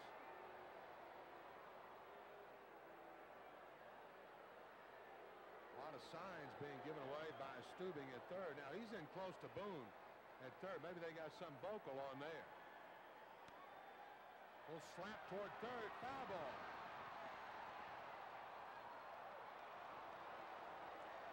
Drew Coble with the call. I don't know why he would have the call. It's really not his call until it gets past that bag at third. Boggs will move right up that line. Here comes Coble with him. Booney coming right up that line. He's going to force the play if the ball is fair. Boggs has to go through with the play. They had it in plenty of time. Both umpires had it called foul all the way.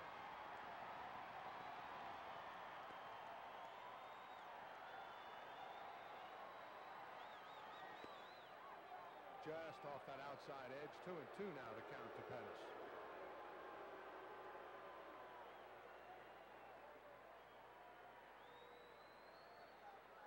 Boone running at third, a little slower foot, Red Sox infield can give him a little more room. And now it's a 3-2 count.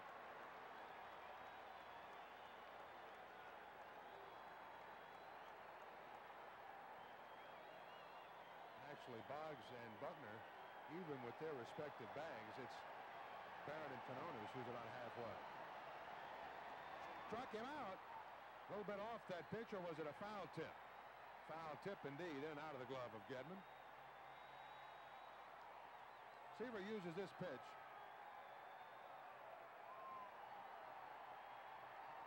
Sometimes you see that in Harwin. That's the running sinker. He uses as a changeup. Also a straight change. He'll throw off that same delivery. Won't have quite as much movement as that one that just tailed. Fly ball, right center field. This will be more than deep enough. Evans still tracking, can't handle it. One big bounce up into the seats.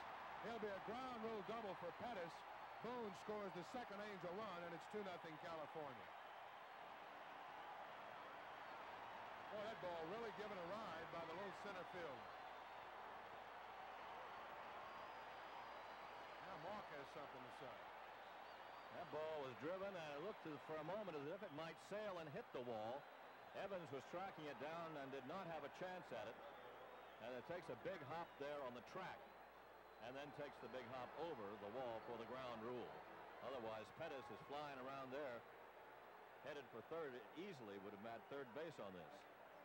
I think what Mauch may have been uh, asking about, did Evans touch that ball? If Evans touched that ball, then he could have been, uh, uh, Pettis play. could have been awarded a three base hit on that, saying that Evans forced it out of the ballpark. To Jones, they're low. Oh, Pettis has driven in his 33rd run. Here's another look at it. Evans did not touch it. That ball is away from him off the warning track and then bounces up into what would be an upper level section of seats. By the way, is full of people. There goes Pettis for third. It's foul down the right field side. Thanks for the foul. It's one of those kind you throw it to a base in advance to hold him to the one he's going to. Boy, did he ever have a jump there.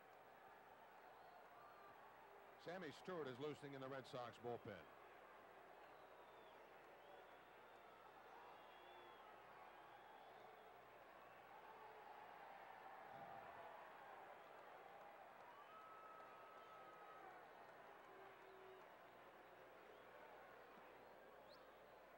Ruppert stays away from a pitch down out of the strike zone.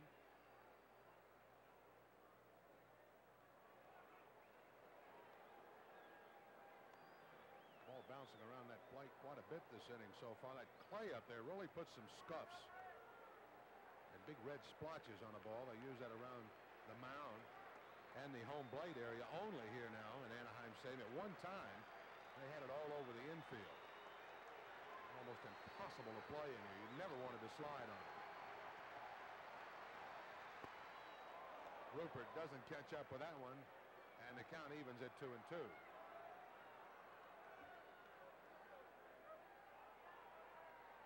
One down here in the Angel fourth inning. They've got a couple in. One on the Grich homer. That has been followed by three straight hits, actually. One of them a hit and run play. But the batter on the hit and run play, Schofield, thrown out at second. That is accounted for the lone out.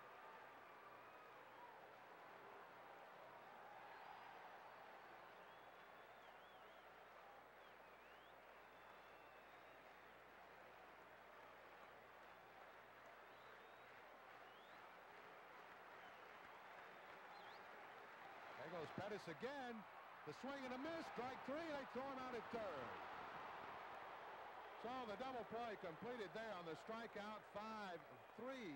Make that five, two, three, two, five on the putout. And the fourth inning is history for California, but they made some noise. Quite a bit of noise. They get two runs on four hits. They leave no one. And at the end of four, it's California two and Boston nothing.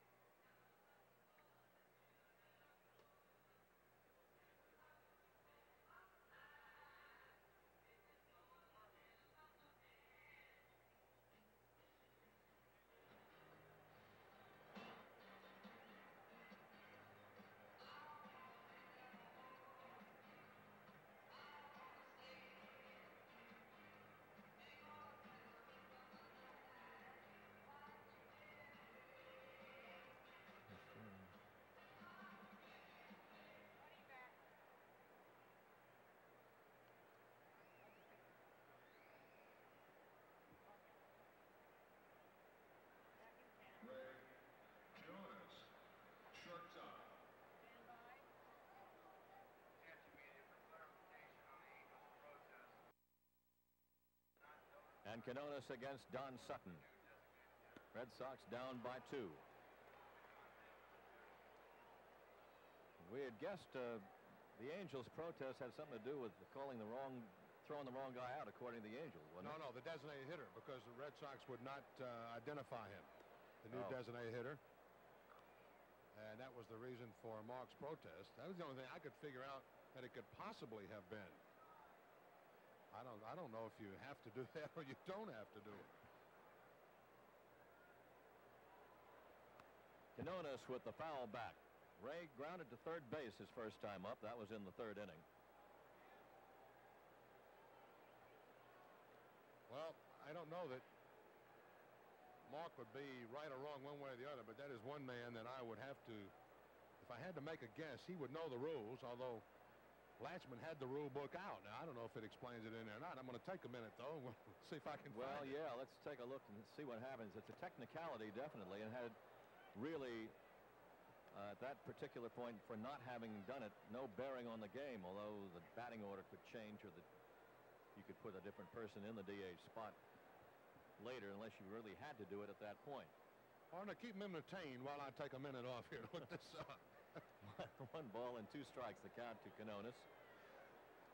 And there is a foul out of the glove of Bob Boone, so he stays alive. One and two. Red Sox have gotten no runs. They've had opportunities in this game. They had a two-out double from Buckner with no results in the first inning. A one-out single from Evans in the second.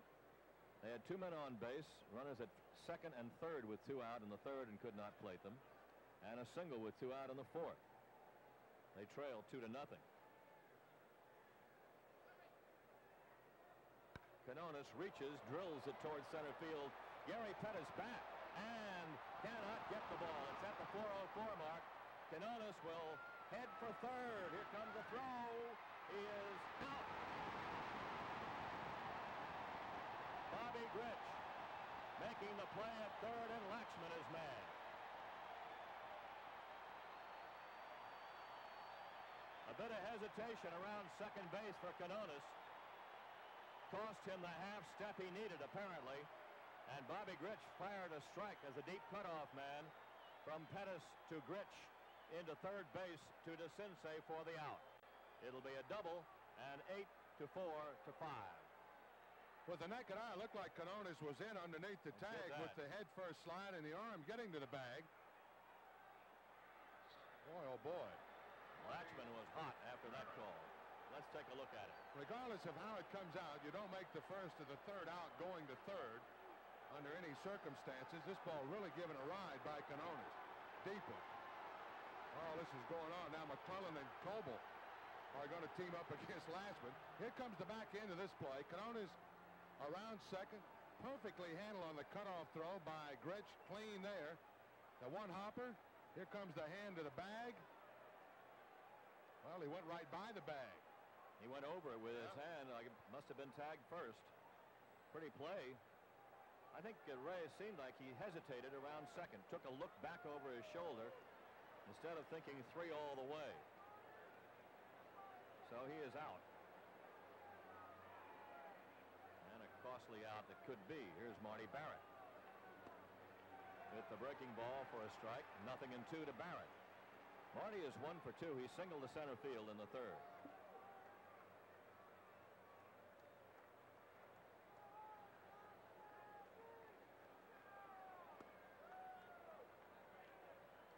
And one ball, two strikes.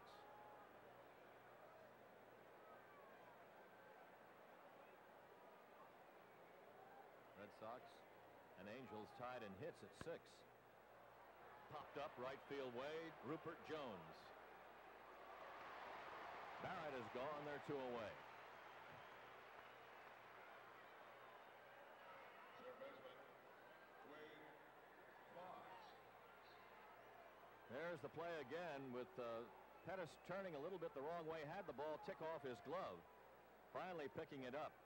And the relay made to the deep cutoff man, Bobby Grich, who fired a perfect throw. And like from that angle, it looks as if Quinones is safe. From the other angle, it looks as if he's out. One ball, no strikes to Boggs. They bunch up left center on him, him the hole in right center field. He goes to left with it. Brian Downing moving. And that is out number three. Three men bat. One gets a hit, but is thrown out on the bases. And after four and a half, the Angels lead two to nothing.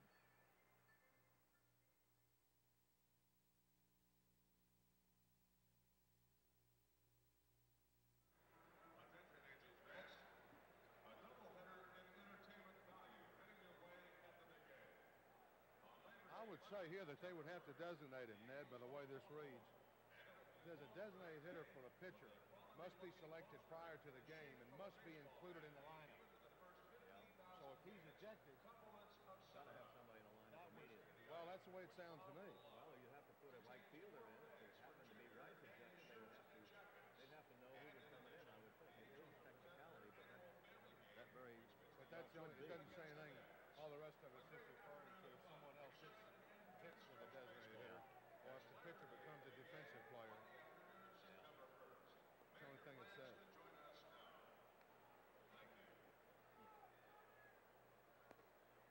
Latch had a rule book up out there. I wonder what part of the rule book he was looking at.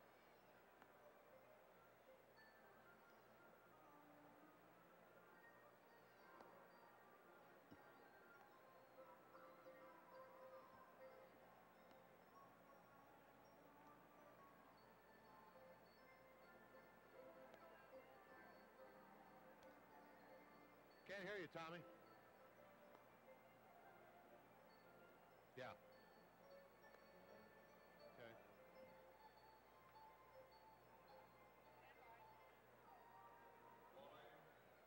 Perhaps the Angels in that last inning when Gedman hooked up with Boggs on the back end of this one. First of all, it started with Seaver on the strikeout to Jones, that tailing away fastball.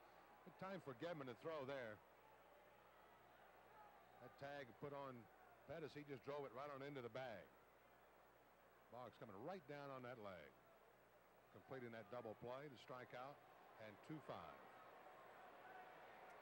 Here we go now with the Angels up and a drive to right field fouled off the bat of Wally Joyner.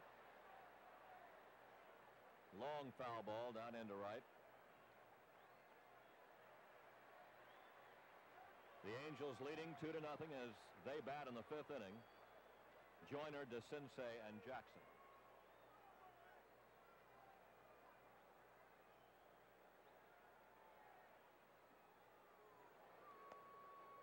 Joyner taking outside. Wally has flied to right and singled to right.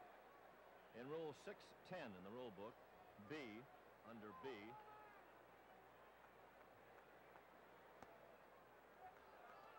Designated hitter named in the starting lineup must come to bat at least one time while we do that. A designated hitter for the pitcher must be selected prior to the game and must be included in the lineup cards presented to the umpire in chief. They have nothing to say about a designated hitter leaving and being replaced except the fact that the pitcher could be locked in the order. But not anything about when you say he is to be in there except that it's supposed to be included in the lineup card presented to the umpire. So that was what Mauch was talking about, evidently.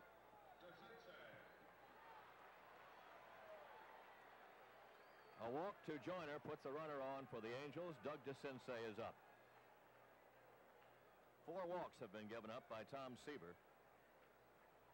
Two of them the pitch around type to Reggie Jackson.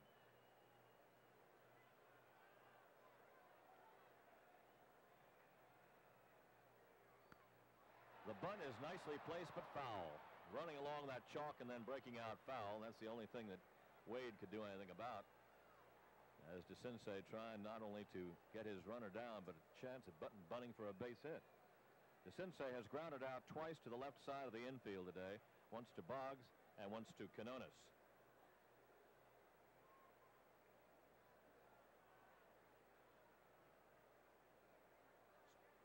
Sammy Stewart up for the second time down in left field in that runway bullpen.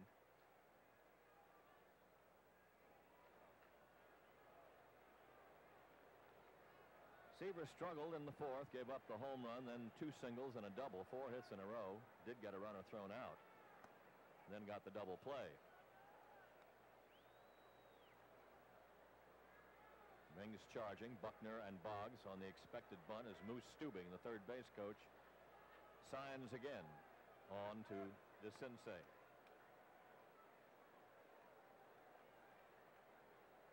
Seaver trying to keep this game at a low rate, hoping his teammates can get some runs for him. As we mentioned, he, they have not gotten too many for him or for any other Red Sox pitcher except Roger Clemens. Coming into this game, in the Clemens, in the games that Clemens has not pitched on this road trip, the Red Sox had scored 18 runs for the other four pitchers. They scored 17 in the two Roger Clemens games. The bunt kills itself right in front of the plate, and Seaver throws to Barrett for the out. Sacrifice for DeCinces. Joyner moving to second. A lot of English on this ball as it comes off the sacrifice attempt by DeCinces. Puts that ball right out on the edge of the grass. Long way for Seaver to come and get this ball on the bunt attempt. That assures DeCinces of getting the sacrifice. Absolutely no play at second whatsoever. Barrett on On a runaround coverage taking a throw at first. Reggie Jackson has taken two walks. Came up with a runner at second base as he does now in the first inning and they pitched around him. A two out walk to him in the third. Hadn't seen a good pitch to hit all afternoon. And now the one out walk here in the fifth. That's right. That's what he's going to get. Count is two balls, no strikes.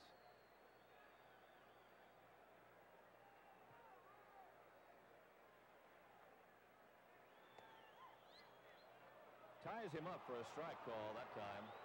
Third base umpire Drew Coble calling it. That's one there you say I don't even want. I don't even don't even want to ask. I'll just take it for a ball. Two and one. I'll be saying, well, you take the bat out of Jackson's hand. Well, yeah, in a way you do. Inside ball three. But what Mauch is thinking, I, I have a 2 nothing lead, and when my man is scoring position, I'll let them change the batting order to get to, to a Downing or a Grich behind him. I got two chances to score that guy from second. Reggie, for the third time, looks at ball four. Runners at first and second, one out. Fifth walk issued by Seaver. Now Brian Downing up. And if history repeats himself, he will ground to Boggs.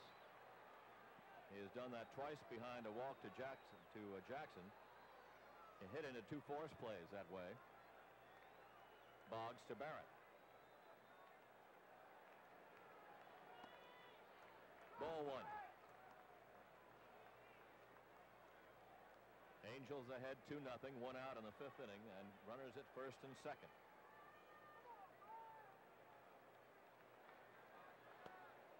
And a throw quickly down to second, not in time. Count is 2 and nothing to Downing. The Downing stance has changed from year to year. He was closed the first part of this year. First part of this series, he was even closed. Now he's wide open again. There's a strike to him, two and one.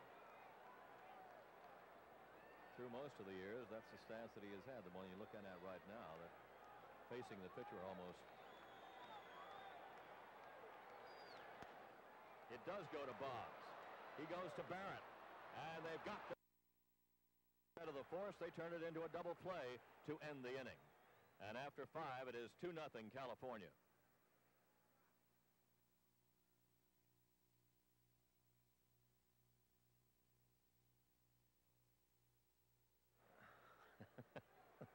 What's, what does it say? Umpires, umpires got Yeah. I saw that. You're right. You're, You're right. right. Only it was before yesterday. They've been that way for a while.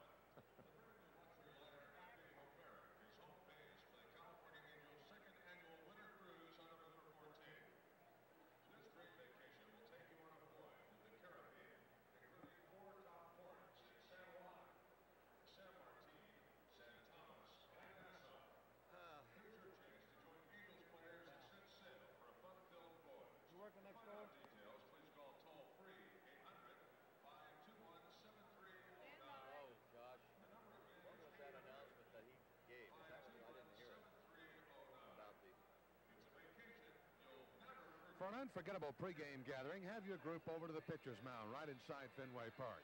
In-house catering service will provide a variety of food and beverage packages in your own private function room. There are a limited number of dates available for the months of August, September, and October, so book your date now.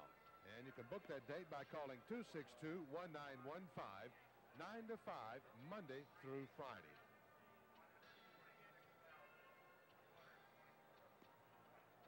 Here we go now to the sixth inning. And we look again at Downing's double play. History did come right back there. Good clean play by Boggs. Had to back up a half step to take the ball in a big bounce. Jackson tried to upend Marty Barrett on a good hard slide, but Marty was well out of his way, and they complete the double play. Bill Buckner starting it off in the sixth inning. And he has had two doubles right down the right field line. The attendance has come in. It's a beauty. 61,559. Biggest crowd we've ever seen here.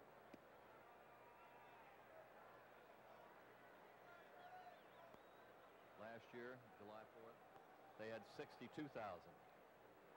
62,000 plus last year. So this is the second biggest crowd the Red Sox have played before in this ballpark since they added those football seats in center. That's right. Last year we were here on the 4th of July.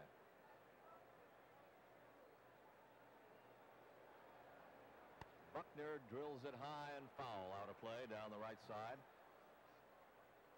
Nothing in two.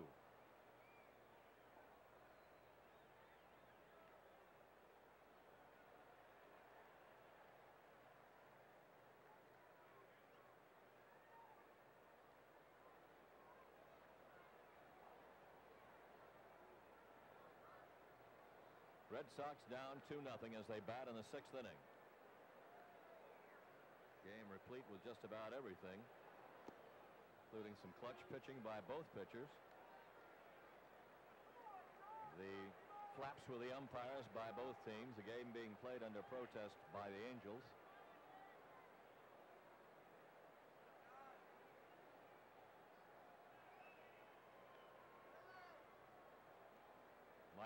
Is standing around in the hole, as they say, so he apparently has been named the designated hitter by Rene Lachemann.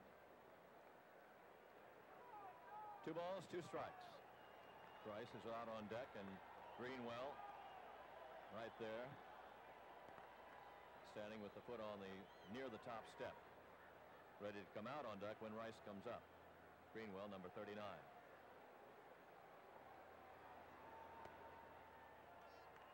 Well, the rules do state that you have to make known your designated hitter, but it said nothing about the case of a DH being injected and uh, how soon you had to make it known. Usually, the rule, I think, applies uh, besides what we gave you that uh, he can be announced when he, his time comes at bat. But there it is over by first base. Wally Joyner tracking it and leaning over to come up with a catch. A lot of white showing, but Joyner showed a lot of patience and stayed right with that ball. Took it away from a couple of folks for the out. Not only a lot of patience, a lot of nerve. As he'll in he'll start dancing around now with some fans, some arms. He's going to climb that wall if he has to. Hat gets in his way. He's got a snow cone when he comes out of there. That's a good play right there. He's going to climb the wall. if he, no, he didn't need to. Yes, sir. A lot of concentration being shown by Joyner on that one. There's a strike to Rice. Jim Rice, center fielder, has or fly to center rather, and uh, grounded to third, and he singles up the middle this time. We'll pause for a station break on the TV 38 Red Sox Network.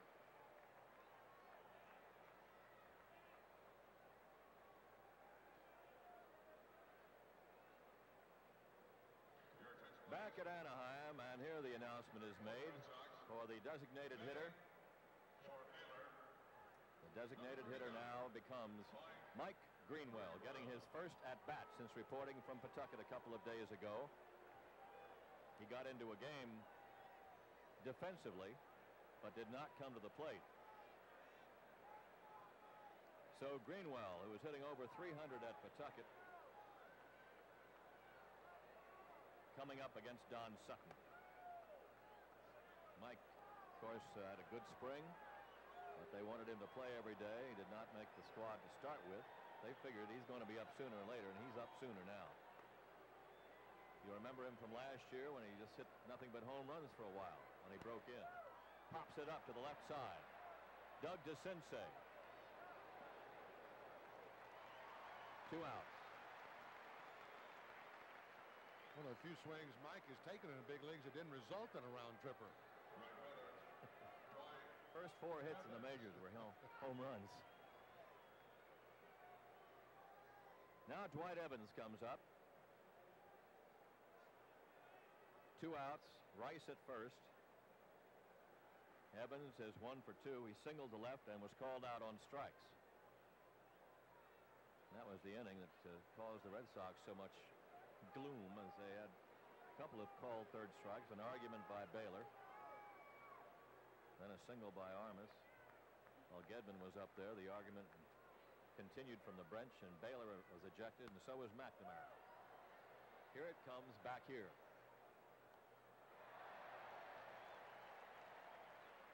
A foul strike to Evans. Two runs and six hits for the Angels, no runs and seven hits for the Red Sox.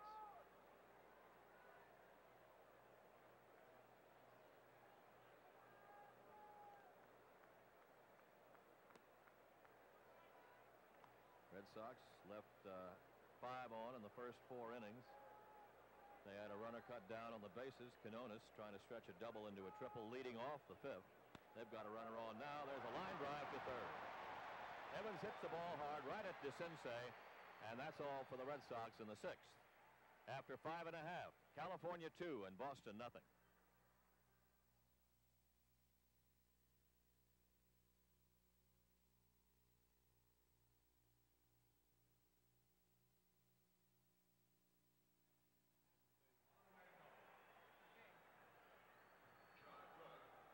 Oh.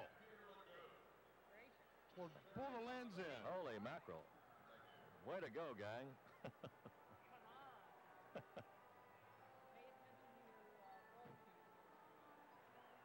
what is she going to do now? Oh, that's nice.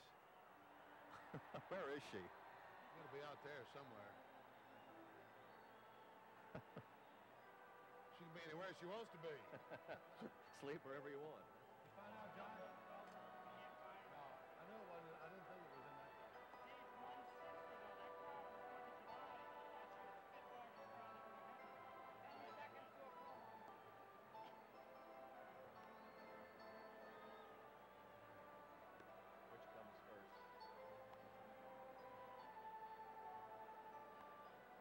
He was the MVP of the 1986 All-Star game, pitching three perfect innings. Pitching in his home state of Texas in front of family and friends, he said it was a dream come true. Immediately following today's game, watch Clemens and Friends Home to the Dome. You won't want to miss it right here on WSBK TV 38. Fans, just a reminder, they can still pick up your copy of the 1986 Red Sox yearbook at Fenway or at local newsstands. Order order by mail. Send $5 in check or money order to Boston Red Sox yearbook, 50 Beacon Street, Boston, Massachusetts, 02108. Going to the bottom of the sixth inning. California Angels leading Red Sox and Seaver two to nothing. Grich, Boone, and Schofield, the guys that started the trouble in the fourth inning, will be up. Bobby Grich hit a home run to center field for the first run of the game. He is one for two.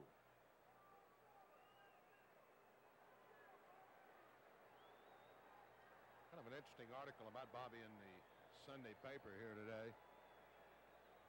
Kind of hinted at he was ready to retire at the end of this year.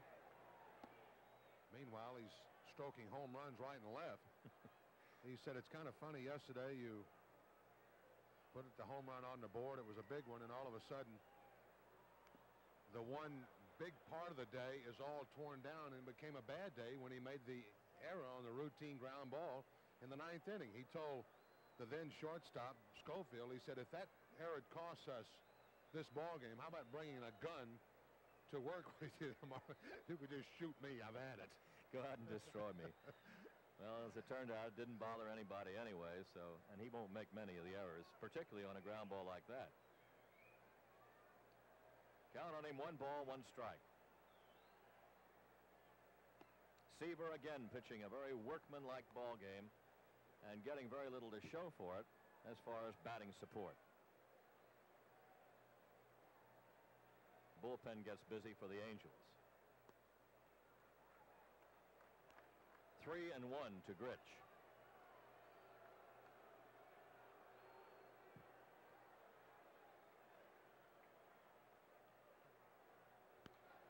Lifts it high to the right side. Buckner back along the line. Barrett over. Barrett calls and Marty with the catch. Grich popping up to his opposite number, Marty Barrett. One down. Left-hander Gary Lucas is in the bullpen now for the Angels.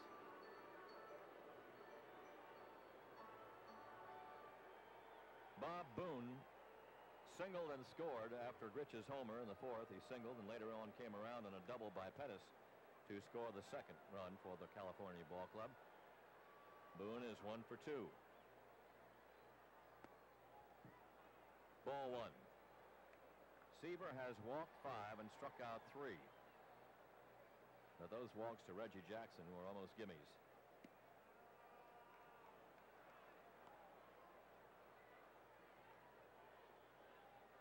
One ball, one strike.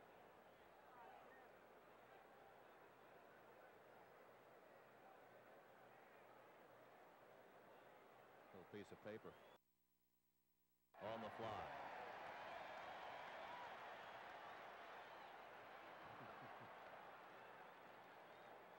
One ball, one strike.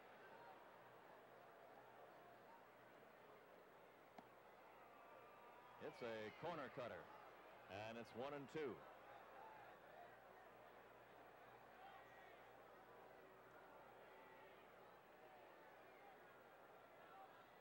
One out, nobody on in the sixth inning.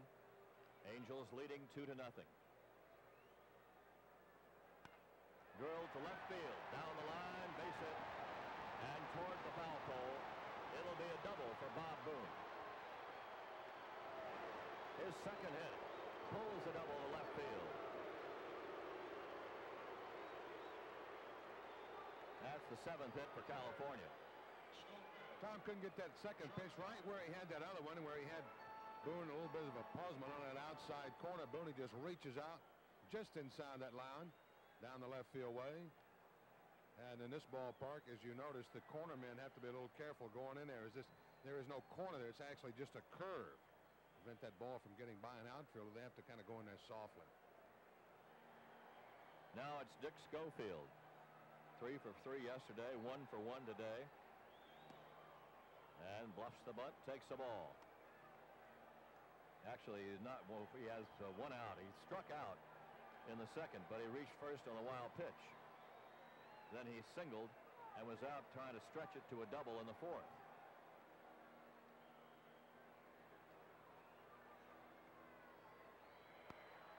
Foul back here.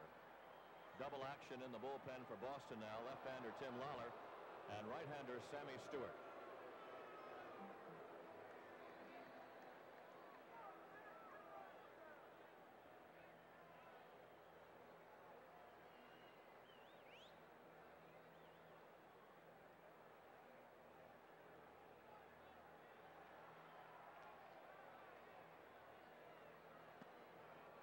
Breaking ball for a strike. A ball and two strikes to Schofield. Bob Boone at second base, and there's one out.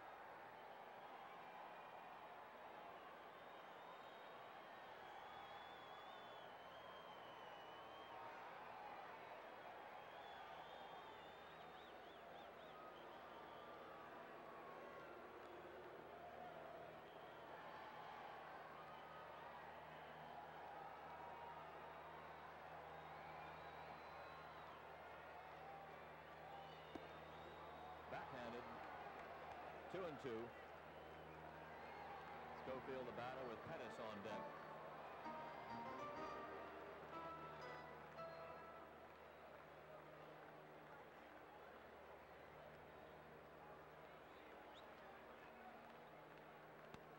To third and box.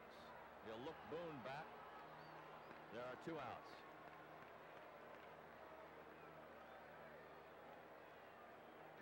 Center With two away and Boone at second base. Gary Pettis coming up.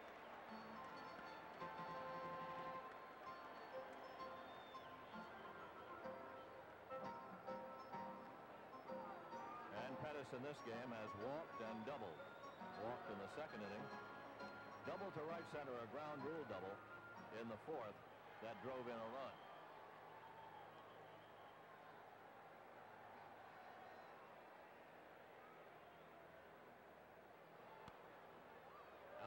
Play, strike one.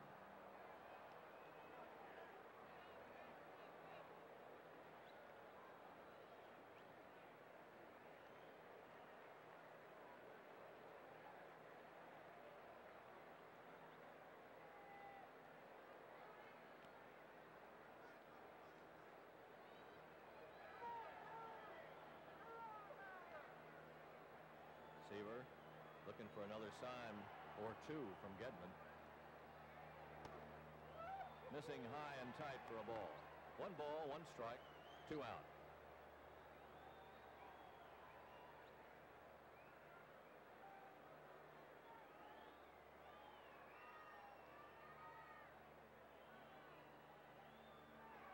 And the pickoff attempt. They would have had it maybe had not the ball gotten away, been knocked out of the hand of Barrett.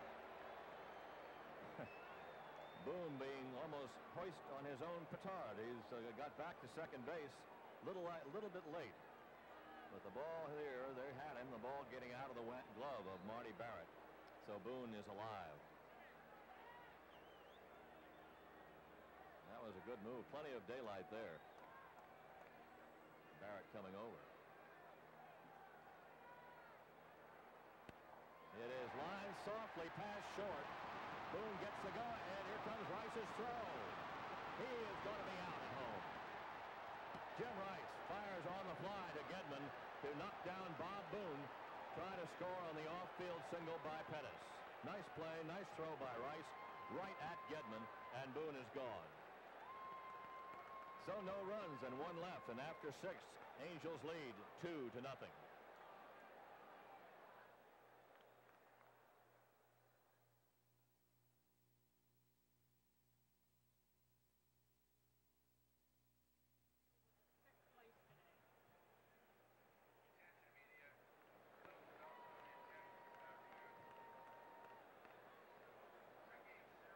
Louder, Tommy. We can barely hear you. I can't hear him at all. What? Still can't hear you. I can't hear you. I can't hear myself anymore. I haven't been able to hear Monty for a couple of innings.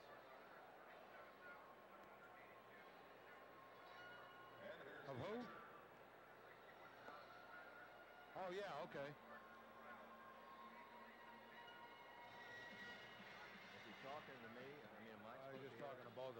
Tommy, we can just barely hear you. I.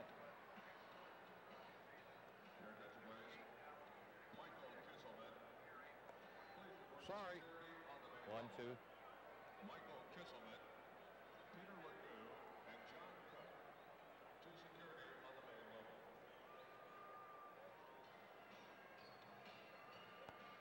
One, two, three. Now it's better. I boosted it up on this thing on the line on the wire, not from the box. The little the little cable. Yeah, I got you better now. Center Tony Armas. I can't see the monitor because it's on either. We go now to the seventh inning. And take a look at the throw from Jim Rice. Firing down into Gedman as Boone tries to pick up a little insurance run here, and he's dead in the water. An assist for Jim Rice. Here we go, Monty. Tony Armas up in the Red Sox seventh, trailing two to nothing. Maybe a little respect shown from catcher to catcher there. Booney had a chance to really put Gedman maybe where they sell, the cheaper seats and chose not to. He's out by quite a margin. Armas one for two in the game. Excuse me, swing, fly ball out of play, right side. One ball, one strike to count.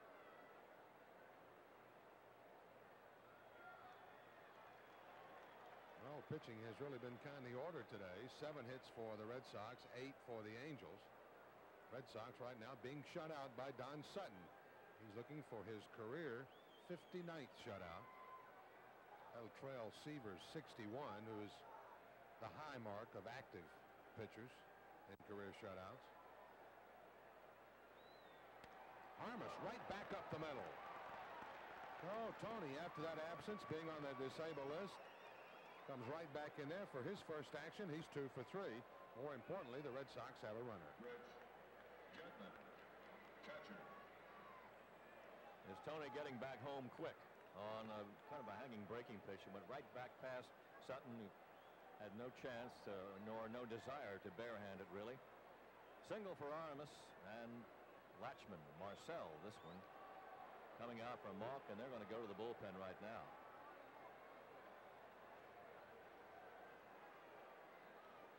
So the pitching change being made here by the Angels with them leading two to nothing. You're watching Red Sox baseball from the Big A in Anaheim. Oh, this is Finley, I think.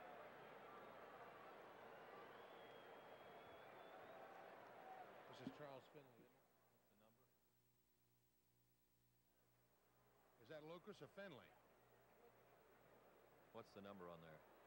36, it looks like. 36 is Lucas.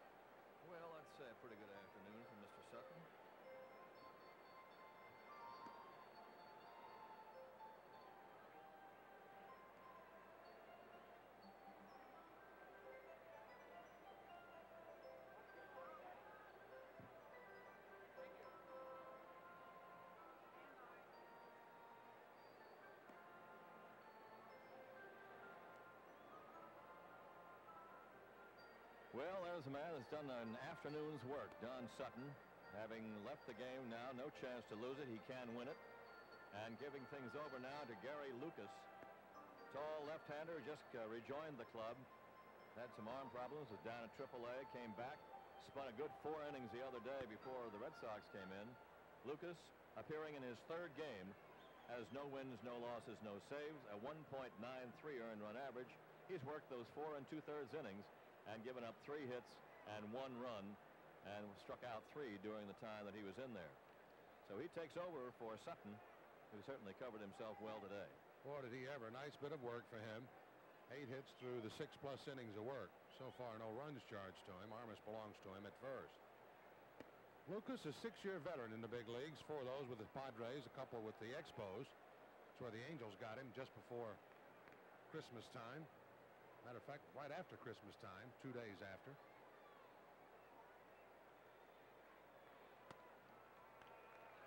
Mauch playing the percentages here as he will go left-hander against Gedman.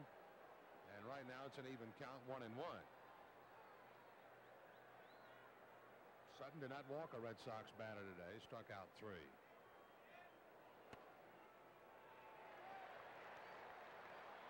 It's a one and two count to Getty. Boy, that ball just split that outside corner there. Lucas last year with Montreal, six wins, two losses. He was in 49 games, all as a reliever. Had one save. And Gedman will be down on strikes. Little knees and elbows and a lot of thin body working on that last delivery to Gedman. Here it is, and kept sliding across that plate area and out of the strike zone, swung on for strike three. So Lucas, as relievers are expected to do, retire the first hitter they face. That's one down now. Armas at first. And here's Rey Quiñones.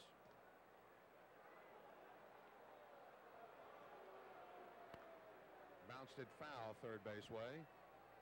Quiñones one for two. He's had a long double to center field over the outstretched glove of Gary Pettis. Then on the perfect relay play, Pettis to Grich to DeCinces. They retired Quiñones trying to stretch the double into three. That happened back in the fifth inning.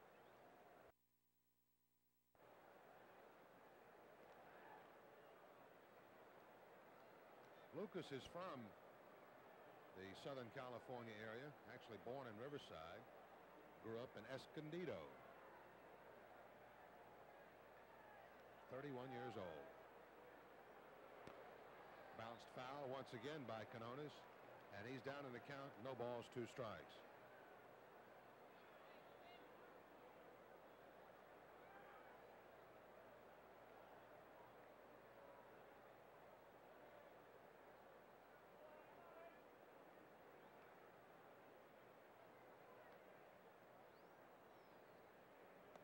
And he's gone on strikes. Lucas seemed to take a little bit off of that one and just dropped it off the plate inside. Quiñones went for it and couldn't get it. And that's out number two.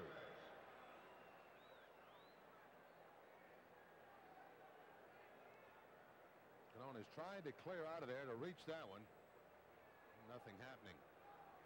So before Marty Barrett got ready to step in, he went down to have a word with Lachemann, who is now not only the third base coach, but the acting Red Sox manager in this game with the ejection of John McNamara back in the fourth inning. Marty on the day one for three. Red Sox need some base runners. They trail 2 nothing. And Lucas just cutting up that inside and outside corner 0-1 to Barrett.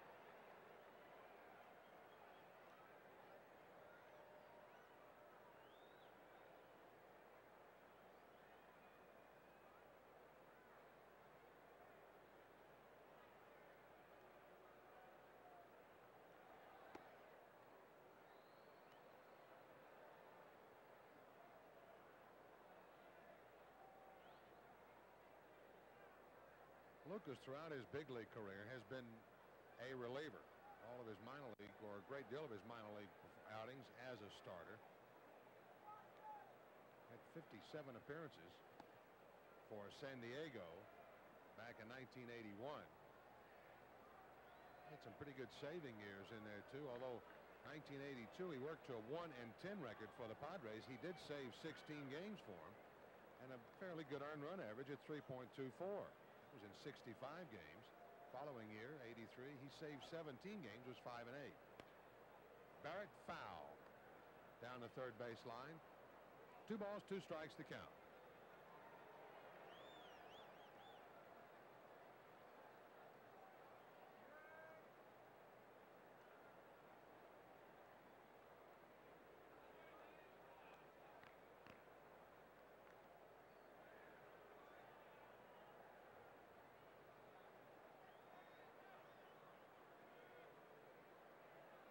Six six two hundred pounder.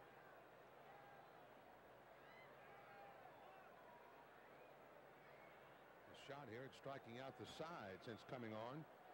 He has retired Gedman and Quiñones on strikes. A 2-2 count here to Barrett.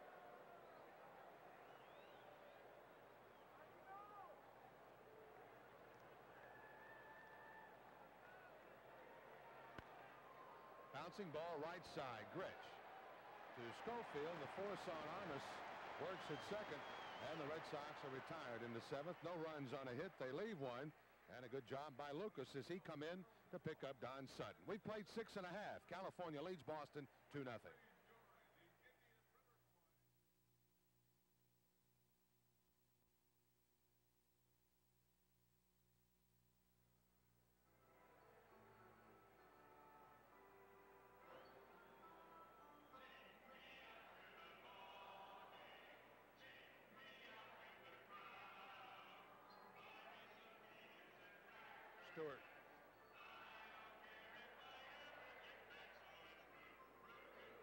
New pitcher, Tommy.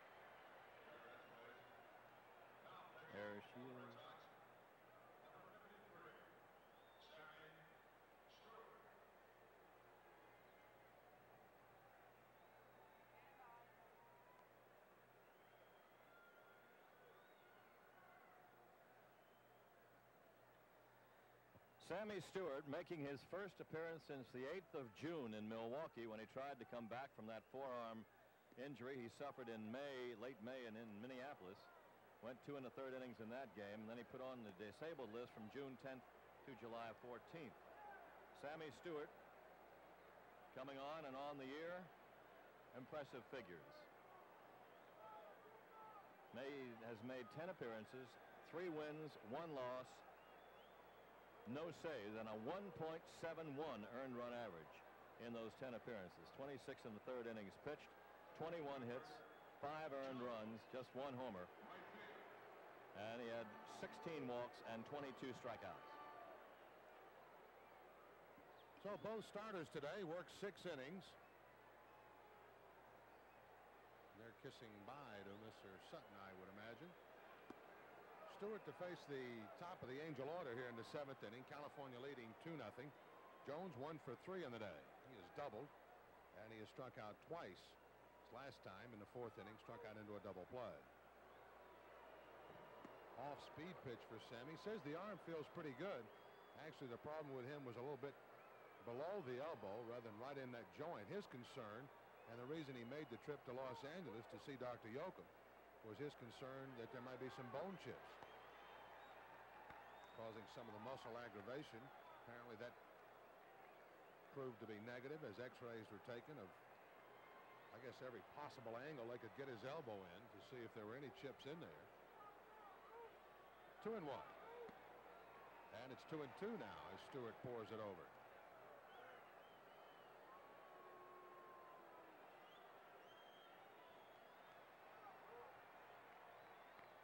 One disappointed man in this ballpark today would be Mr. Charles Seaver, the father of Tom Seaver, who was in the clubhouse earlier today. Boy, I have a nice time talking with him. Of course, he, uh, he's been around the golf business for a long, long time. Quite a, not only a, a good player, but one of the highly respected teachers here in the California section, northern section of California. That pitch is too low to Jones, and the count is full, three and two. Tom Seaver today goes six innings, gives up eight hits, two runs. He walked five. Actually, you might call just two walks, three of them pretty much intentional, unintentional to Reggie Jackson. Seaver struck out three. He gave up one home run, that to Bobby Grich.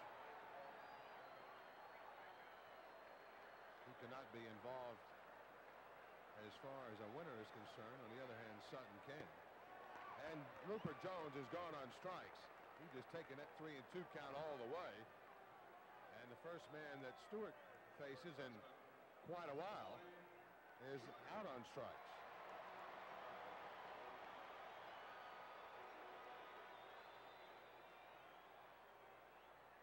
First baseman Wally Joyner, the hitter. Joyner one for two. He's drawn a walk. Mentioned earlier this Red Sox ball club as well as the Angels on an airplane after today's game. They will be headed to other ballparks. Right to the right side, knocked down by Barrett. He'll have to hurry. Gets him. And Joyner jumped about four feet in the air. Boy, was that ball hit hard. Marty may feel that one for a while, even tomorrow.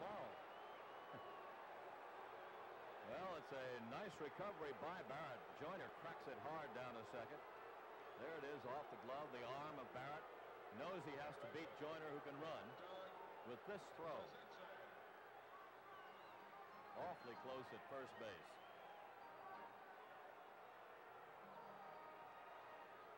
And the ball looked like he was safe. Actually. Had a reason to jump as he got across that bag. Oh, nonetheless, good play by Barrett to stay with that ball because it was really, really kissed by Joyner. Two down, here's DeCinces. Ball low, dug out by Gedman, 1 0. While the Angels will be moving up the coast, the Red Sox will be moving to the Midwest. They'll send Nipper against Floyd Bannister tomorrow night in Chicago.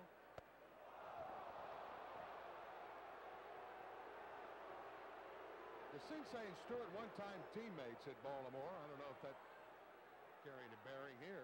I don't think that ball was in as much as uh, No. the, the swerve of DeCinces made it look. He just went, uh, made it dramatic as he went down. Well, that's what happens when you dive out over that plate. That ball seems like it's a lot closer to you. You're actually going out to meet it a little bit. You're right. It wasn't as close as he made it look. 2 0. And now 3 0 as Stewart misses. The remainder of that series in Chicago on Tuesday, Jeff Sellers will work against Joe Cowley. And in Roger Clemens against Neil Allen on Wednesday as the Red Sox wrap up this road trip. There's the strike over, and it's 3 and 1 to the Angel third baseman.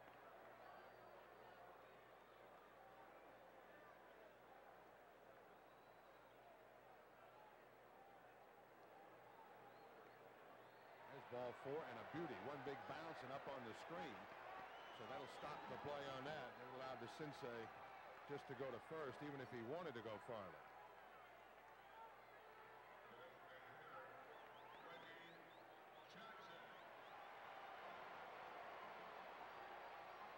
So first base is not open for Reggie Jackson for the first time this afternoon. DeCinces is there with the two-out walk. Reggie unofficially or officially has not been to the plate.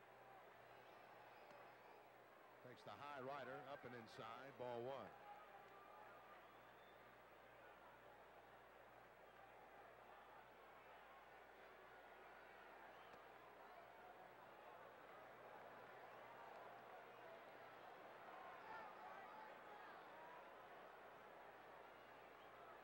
Sammy having to figure out a thing now to get that arm to work for him, even if there's a little tenderness in there. Oh, what a swing by Reggie there. That may have been one of those that he'd already made his mind up on.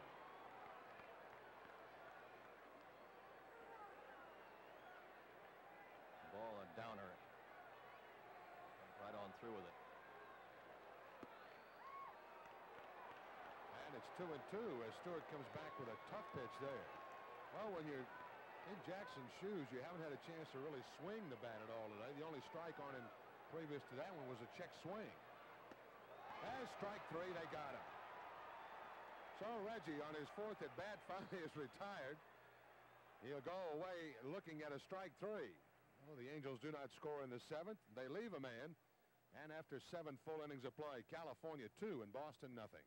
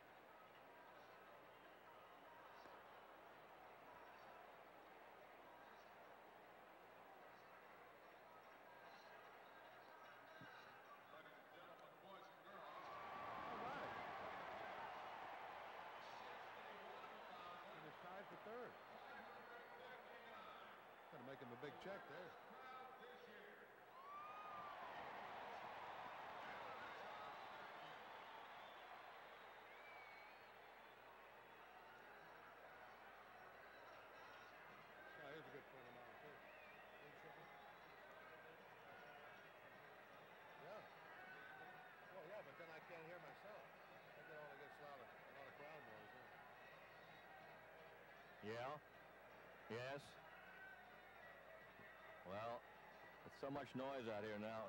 Try it again. Uh, yeah, that was better.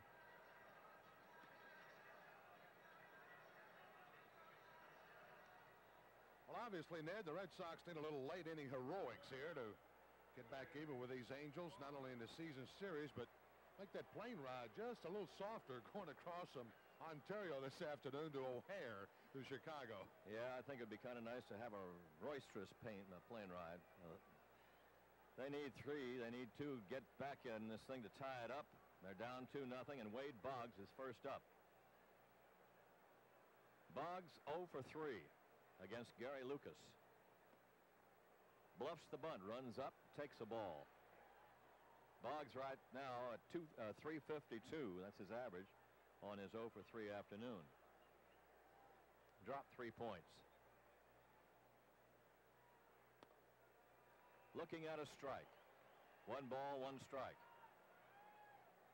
Two runs and eight hits for the Angels. No runs and eight hits for Boston.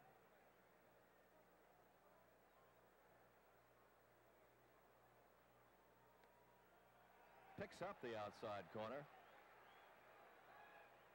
One and two.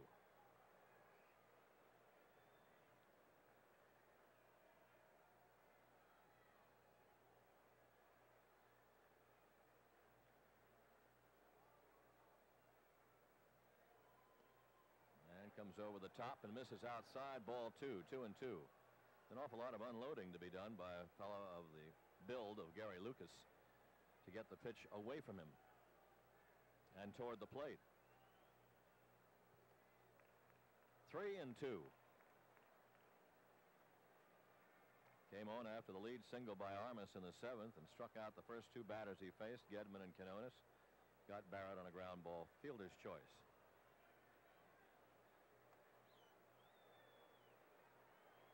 Boggs fouling it off. Count hangs at three and two. Well, in their last two innings, why they have the people up that they want to, certainly, as you go down the lineup. Boggs, Buckner, and Rice, first three up this inning.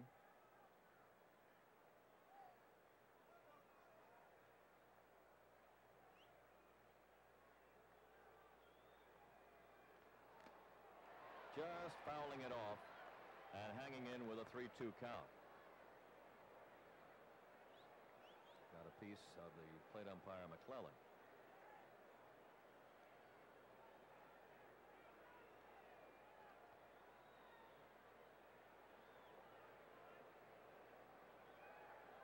The overload on Boggs to the left side, and he fouls it off the end of the bat into the photographer's sling, or kind of a half railing over there by the third base dugout. It's a three ball, two strike count. Big sun splashed crowd of 61,559, the largest of the year. Ball four. The Red Sox have a lead man on in the eighth. First walk given up by Angel pitching this afternoon. Sutton did not walk any in the six innings he worked. Bill Buckner's had a two for three afternoon. Two doubles down the right field line. His foul ball, actually was a good catch by Wally Joyner, picked the ball out of the front row down along the first baseline. Amidst a lot of hands and hamburgers and everything else, but he held on to the baseball.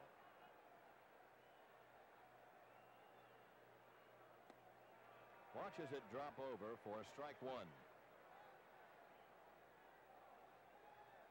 Red Sox have had base runners in every inning. At least one.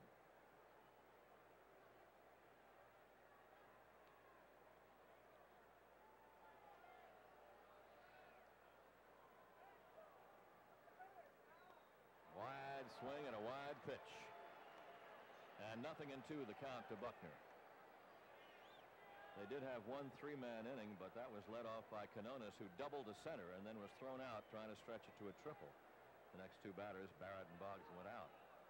But for just a, a brief shining moment, Quinones was on the bases. Nothing in two to Buckner.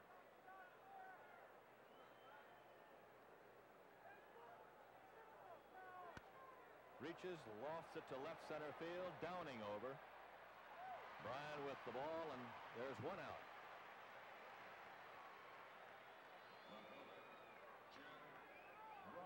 So Buckner's gone, and Rice is on. Jim Rice, one for three afternoon. He singled his last time up. That was in the sixth. Now Marcel Lachemann out again.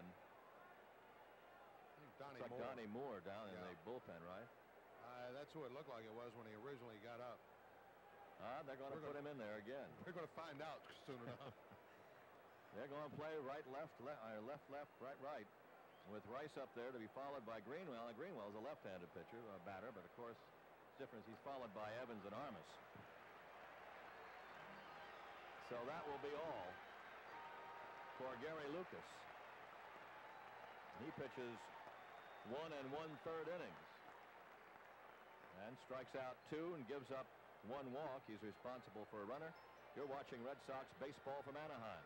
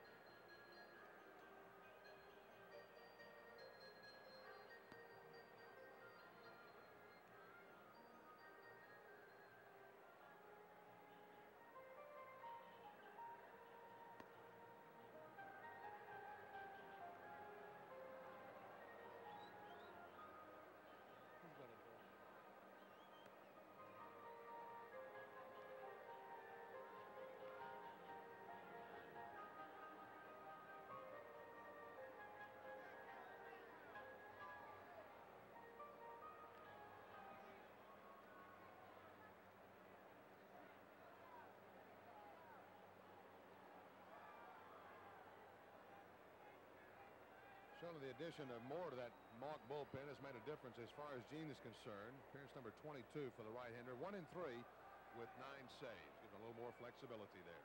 Second appearance in this series, facing Jim Rice now and throwing outside ball one. Red Sox trailing 2 nothing. They have Boggs at first base with one out in the eighth inning. Rice one for three.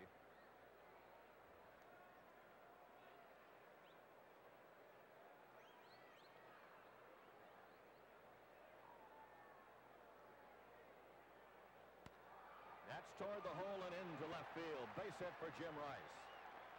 Two on, one out.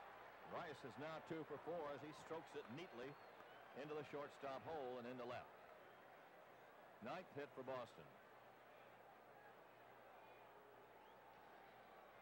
So Moore gives up a hit to the first man he faces. Now Mike Greenwell will appear for his second turn at bat since coming on to the game, becoming the designated hitter after Don Baylor was run by Tim McClelland, the plate umpire, in the fourth inning. Baylor and John McNamara both ejected from the game at that time. Ball one.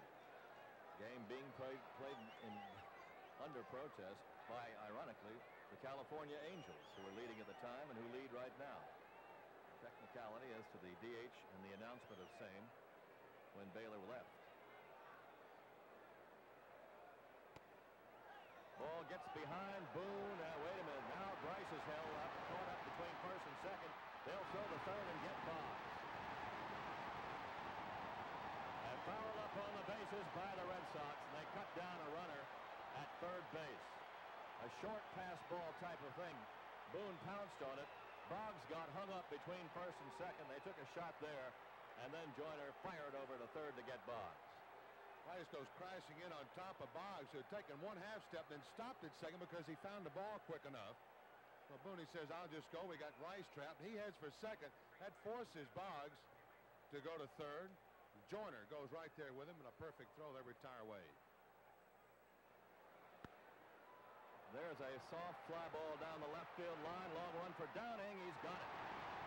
Fair ball catch by Brian Downing, and very quickly this threat goes by the boards.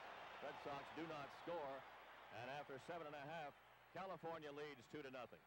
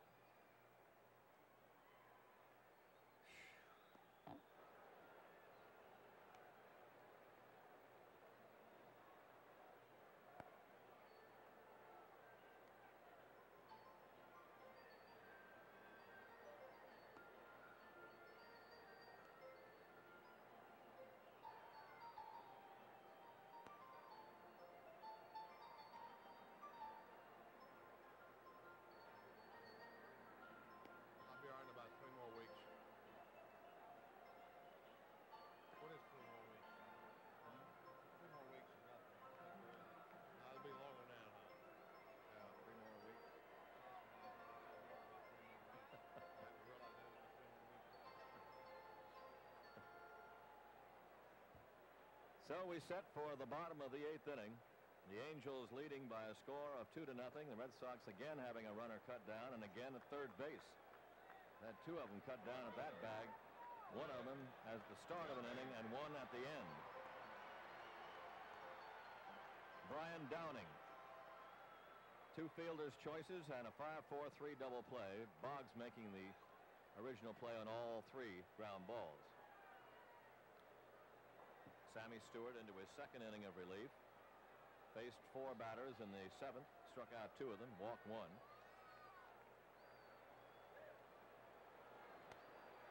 Fly ball, maybe trouble into left field. Rice over, can't get to it. Pen opening. Downing headed for third. The ball gets over the cutoff man.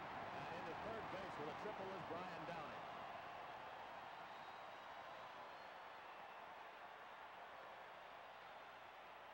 Downing seeing the ball take that big hop past the diving glove of Jim Rice, who had to chase it around the corner. Almost turned into what looked would be an AstroTurf bounce. Rice gets caught up as he's shagging it hard, tries to catch it, and has that big bounce go over his head. And rather than having it go up into the seats, which you would expect it maybe to do normally, hits the pads, cams around. Long chase for Rice. And it's a three-bagger for Mr. Downing. There's that big bounce. Downing at third with nobody out now in the eighth inning, and the Red Sox bring the infield in. The batter is Bobby Grich. Infield in all the way around. Strike one. Grich has hit a home run in three times up. His second homer in two days.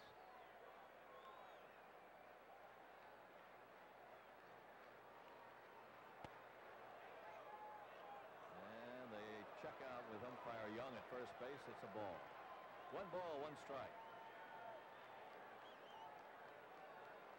Now Sammy Stewart really has to bow his back and pitch out of this thing.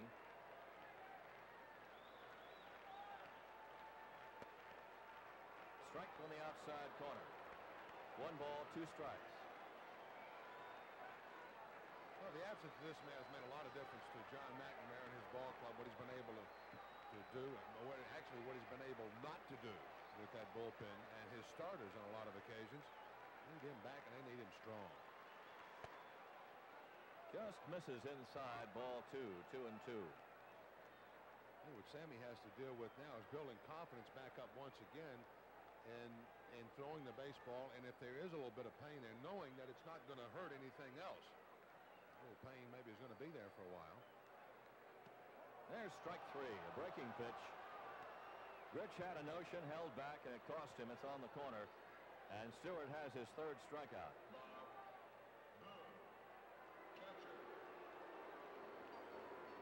The curveball seemed, or the breaking ball, I should say. That one is the curve there seemed to be very effective. Today he's had it biting right in that outside corner and then running out of there. Bob Boone is the batter. Ball, strike one. Strike call by McClelland. Well, there was one strikeout that Sammy needed. He one, needs another one right here. Or a pop-up. Boy, don't be surprised if you might see anything at all happen. Mm -hmm. Boone up there, Downing at third. Slicing a foul out of play. Strike two now. Boone has had a single and a double in three trips this afternoon. It's important. You see now Boone, he's looking down at third base coach Moose Stubing. The count's no balls and two strikes. Say, what in the world could he be looking for? Well, with Mauch as a manager, he could be looking for anything. You better back out and look. Drives it to right center field. Evans over, makes the catch, but it will get the run home. Three to nothing. Bob Boone does his job. Boy, he's been doing his job in this series of advancing runners, of getting the runner home in this case as he picks up his 22nd RBI and an insurance run for the Angels. And what he's done in his last two at bats, he's taken a one and two count, turned it into a base hit to left field. That turned into a double, actually. He's taken an 0 and 2 count here at this at bat in the eighth and turned it into a line drive sacrifice fly. Here's Schofield. He has struck out, but lived on it singled and then grounded out.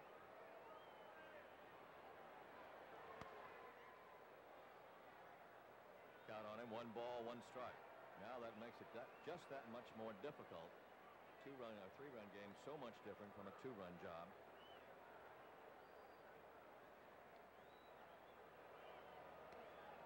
Soft curve for a strike. One ball, two strikes.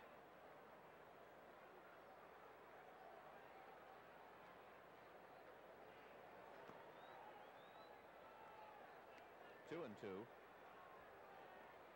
The Red Sox in their ninth inning will have Evans, Armas, and Gedman scheduled up against Donnie Moore.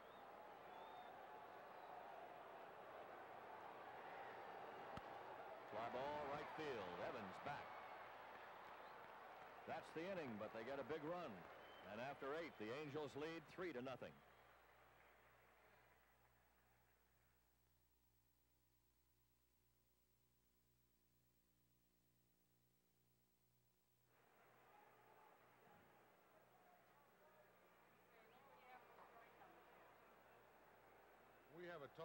Six. No, I'm just going to do it right now, Tommy. Um, let's That's see.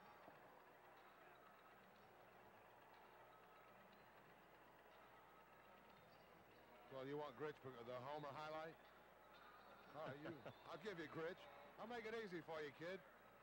Huh? Well, it's either got to be Grich or Sutton. Sutton, Sutton or Boone or Boone. Which one you like? Which one thrilled you with his performance? Which one is easy? Oh, that. Well, give that, her the player of the game award. That's what? all right. What's her name? Jelly Belly.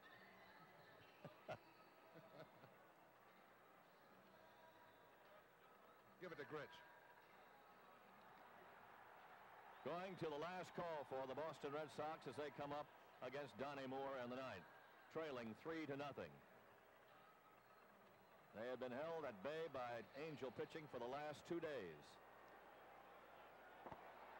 And they need three to keep in this thing and keep it alive as Evans, Armas, and Gedman will be up.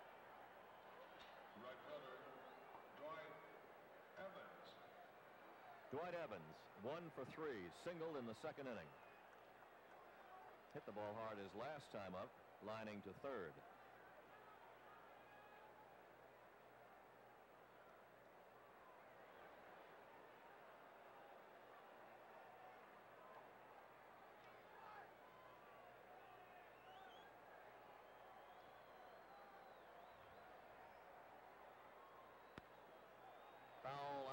Plays. Strike one.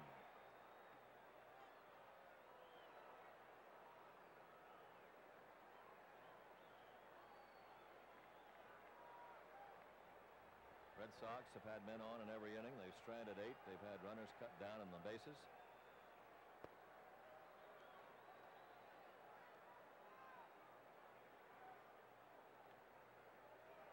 And again, up until now at least, uh, wasted another pretty good pitching performance by Tom Seaver.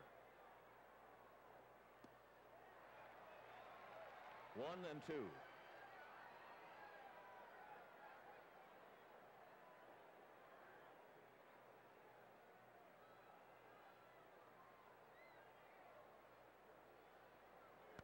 Evans spikes it foul. One ball, two strikes to Dwight. Hits are even in the game, nine apiece. There's been one home run, Bobby Grich.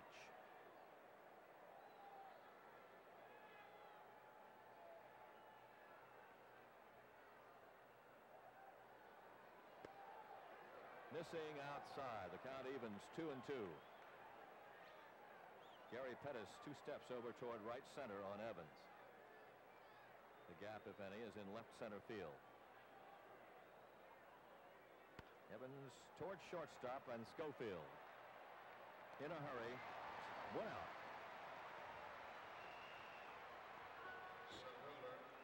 Tony Armas. Tony Armas has had a two for three afternoon. Singled in the fourth and again in the seventh. Flied out his first time up. Marking his comeback after being on the disabled list.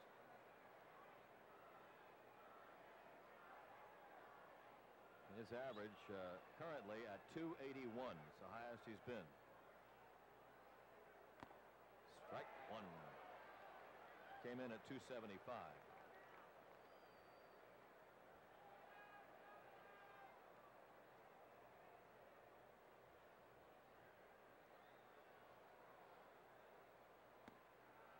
And a strike. We'll pause for a station break on the TV 38 Red Sox network.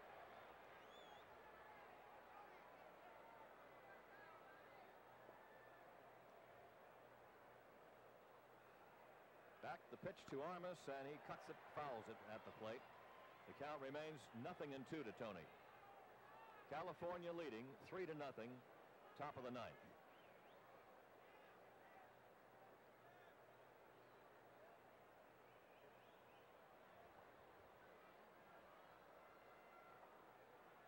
Strike three, and there's a first strikeout for Moore as Armas goes down. Two down. Moore not really the overpowering type pitcher since the, the arm injury. He'll give you a little bit of this, a little bit of that. That was a little bit of this on that one. Took a little off. Had that ball tailed down and possibly out of the strike zone to Armas. Here's Rich Gedman with two out. Strike one. Mauch left me with kind of a funny look and a statement this morning when I left his dugout after talking to him.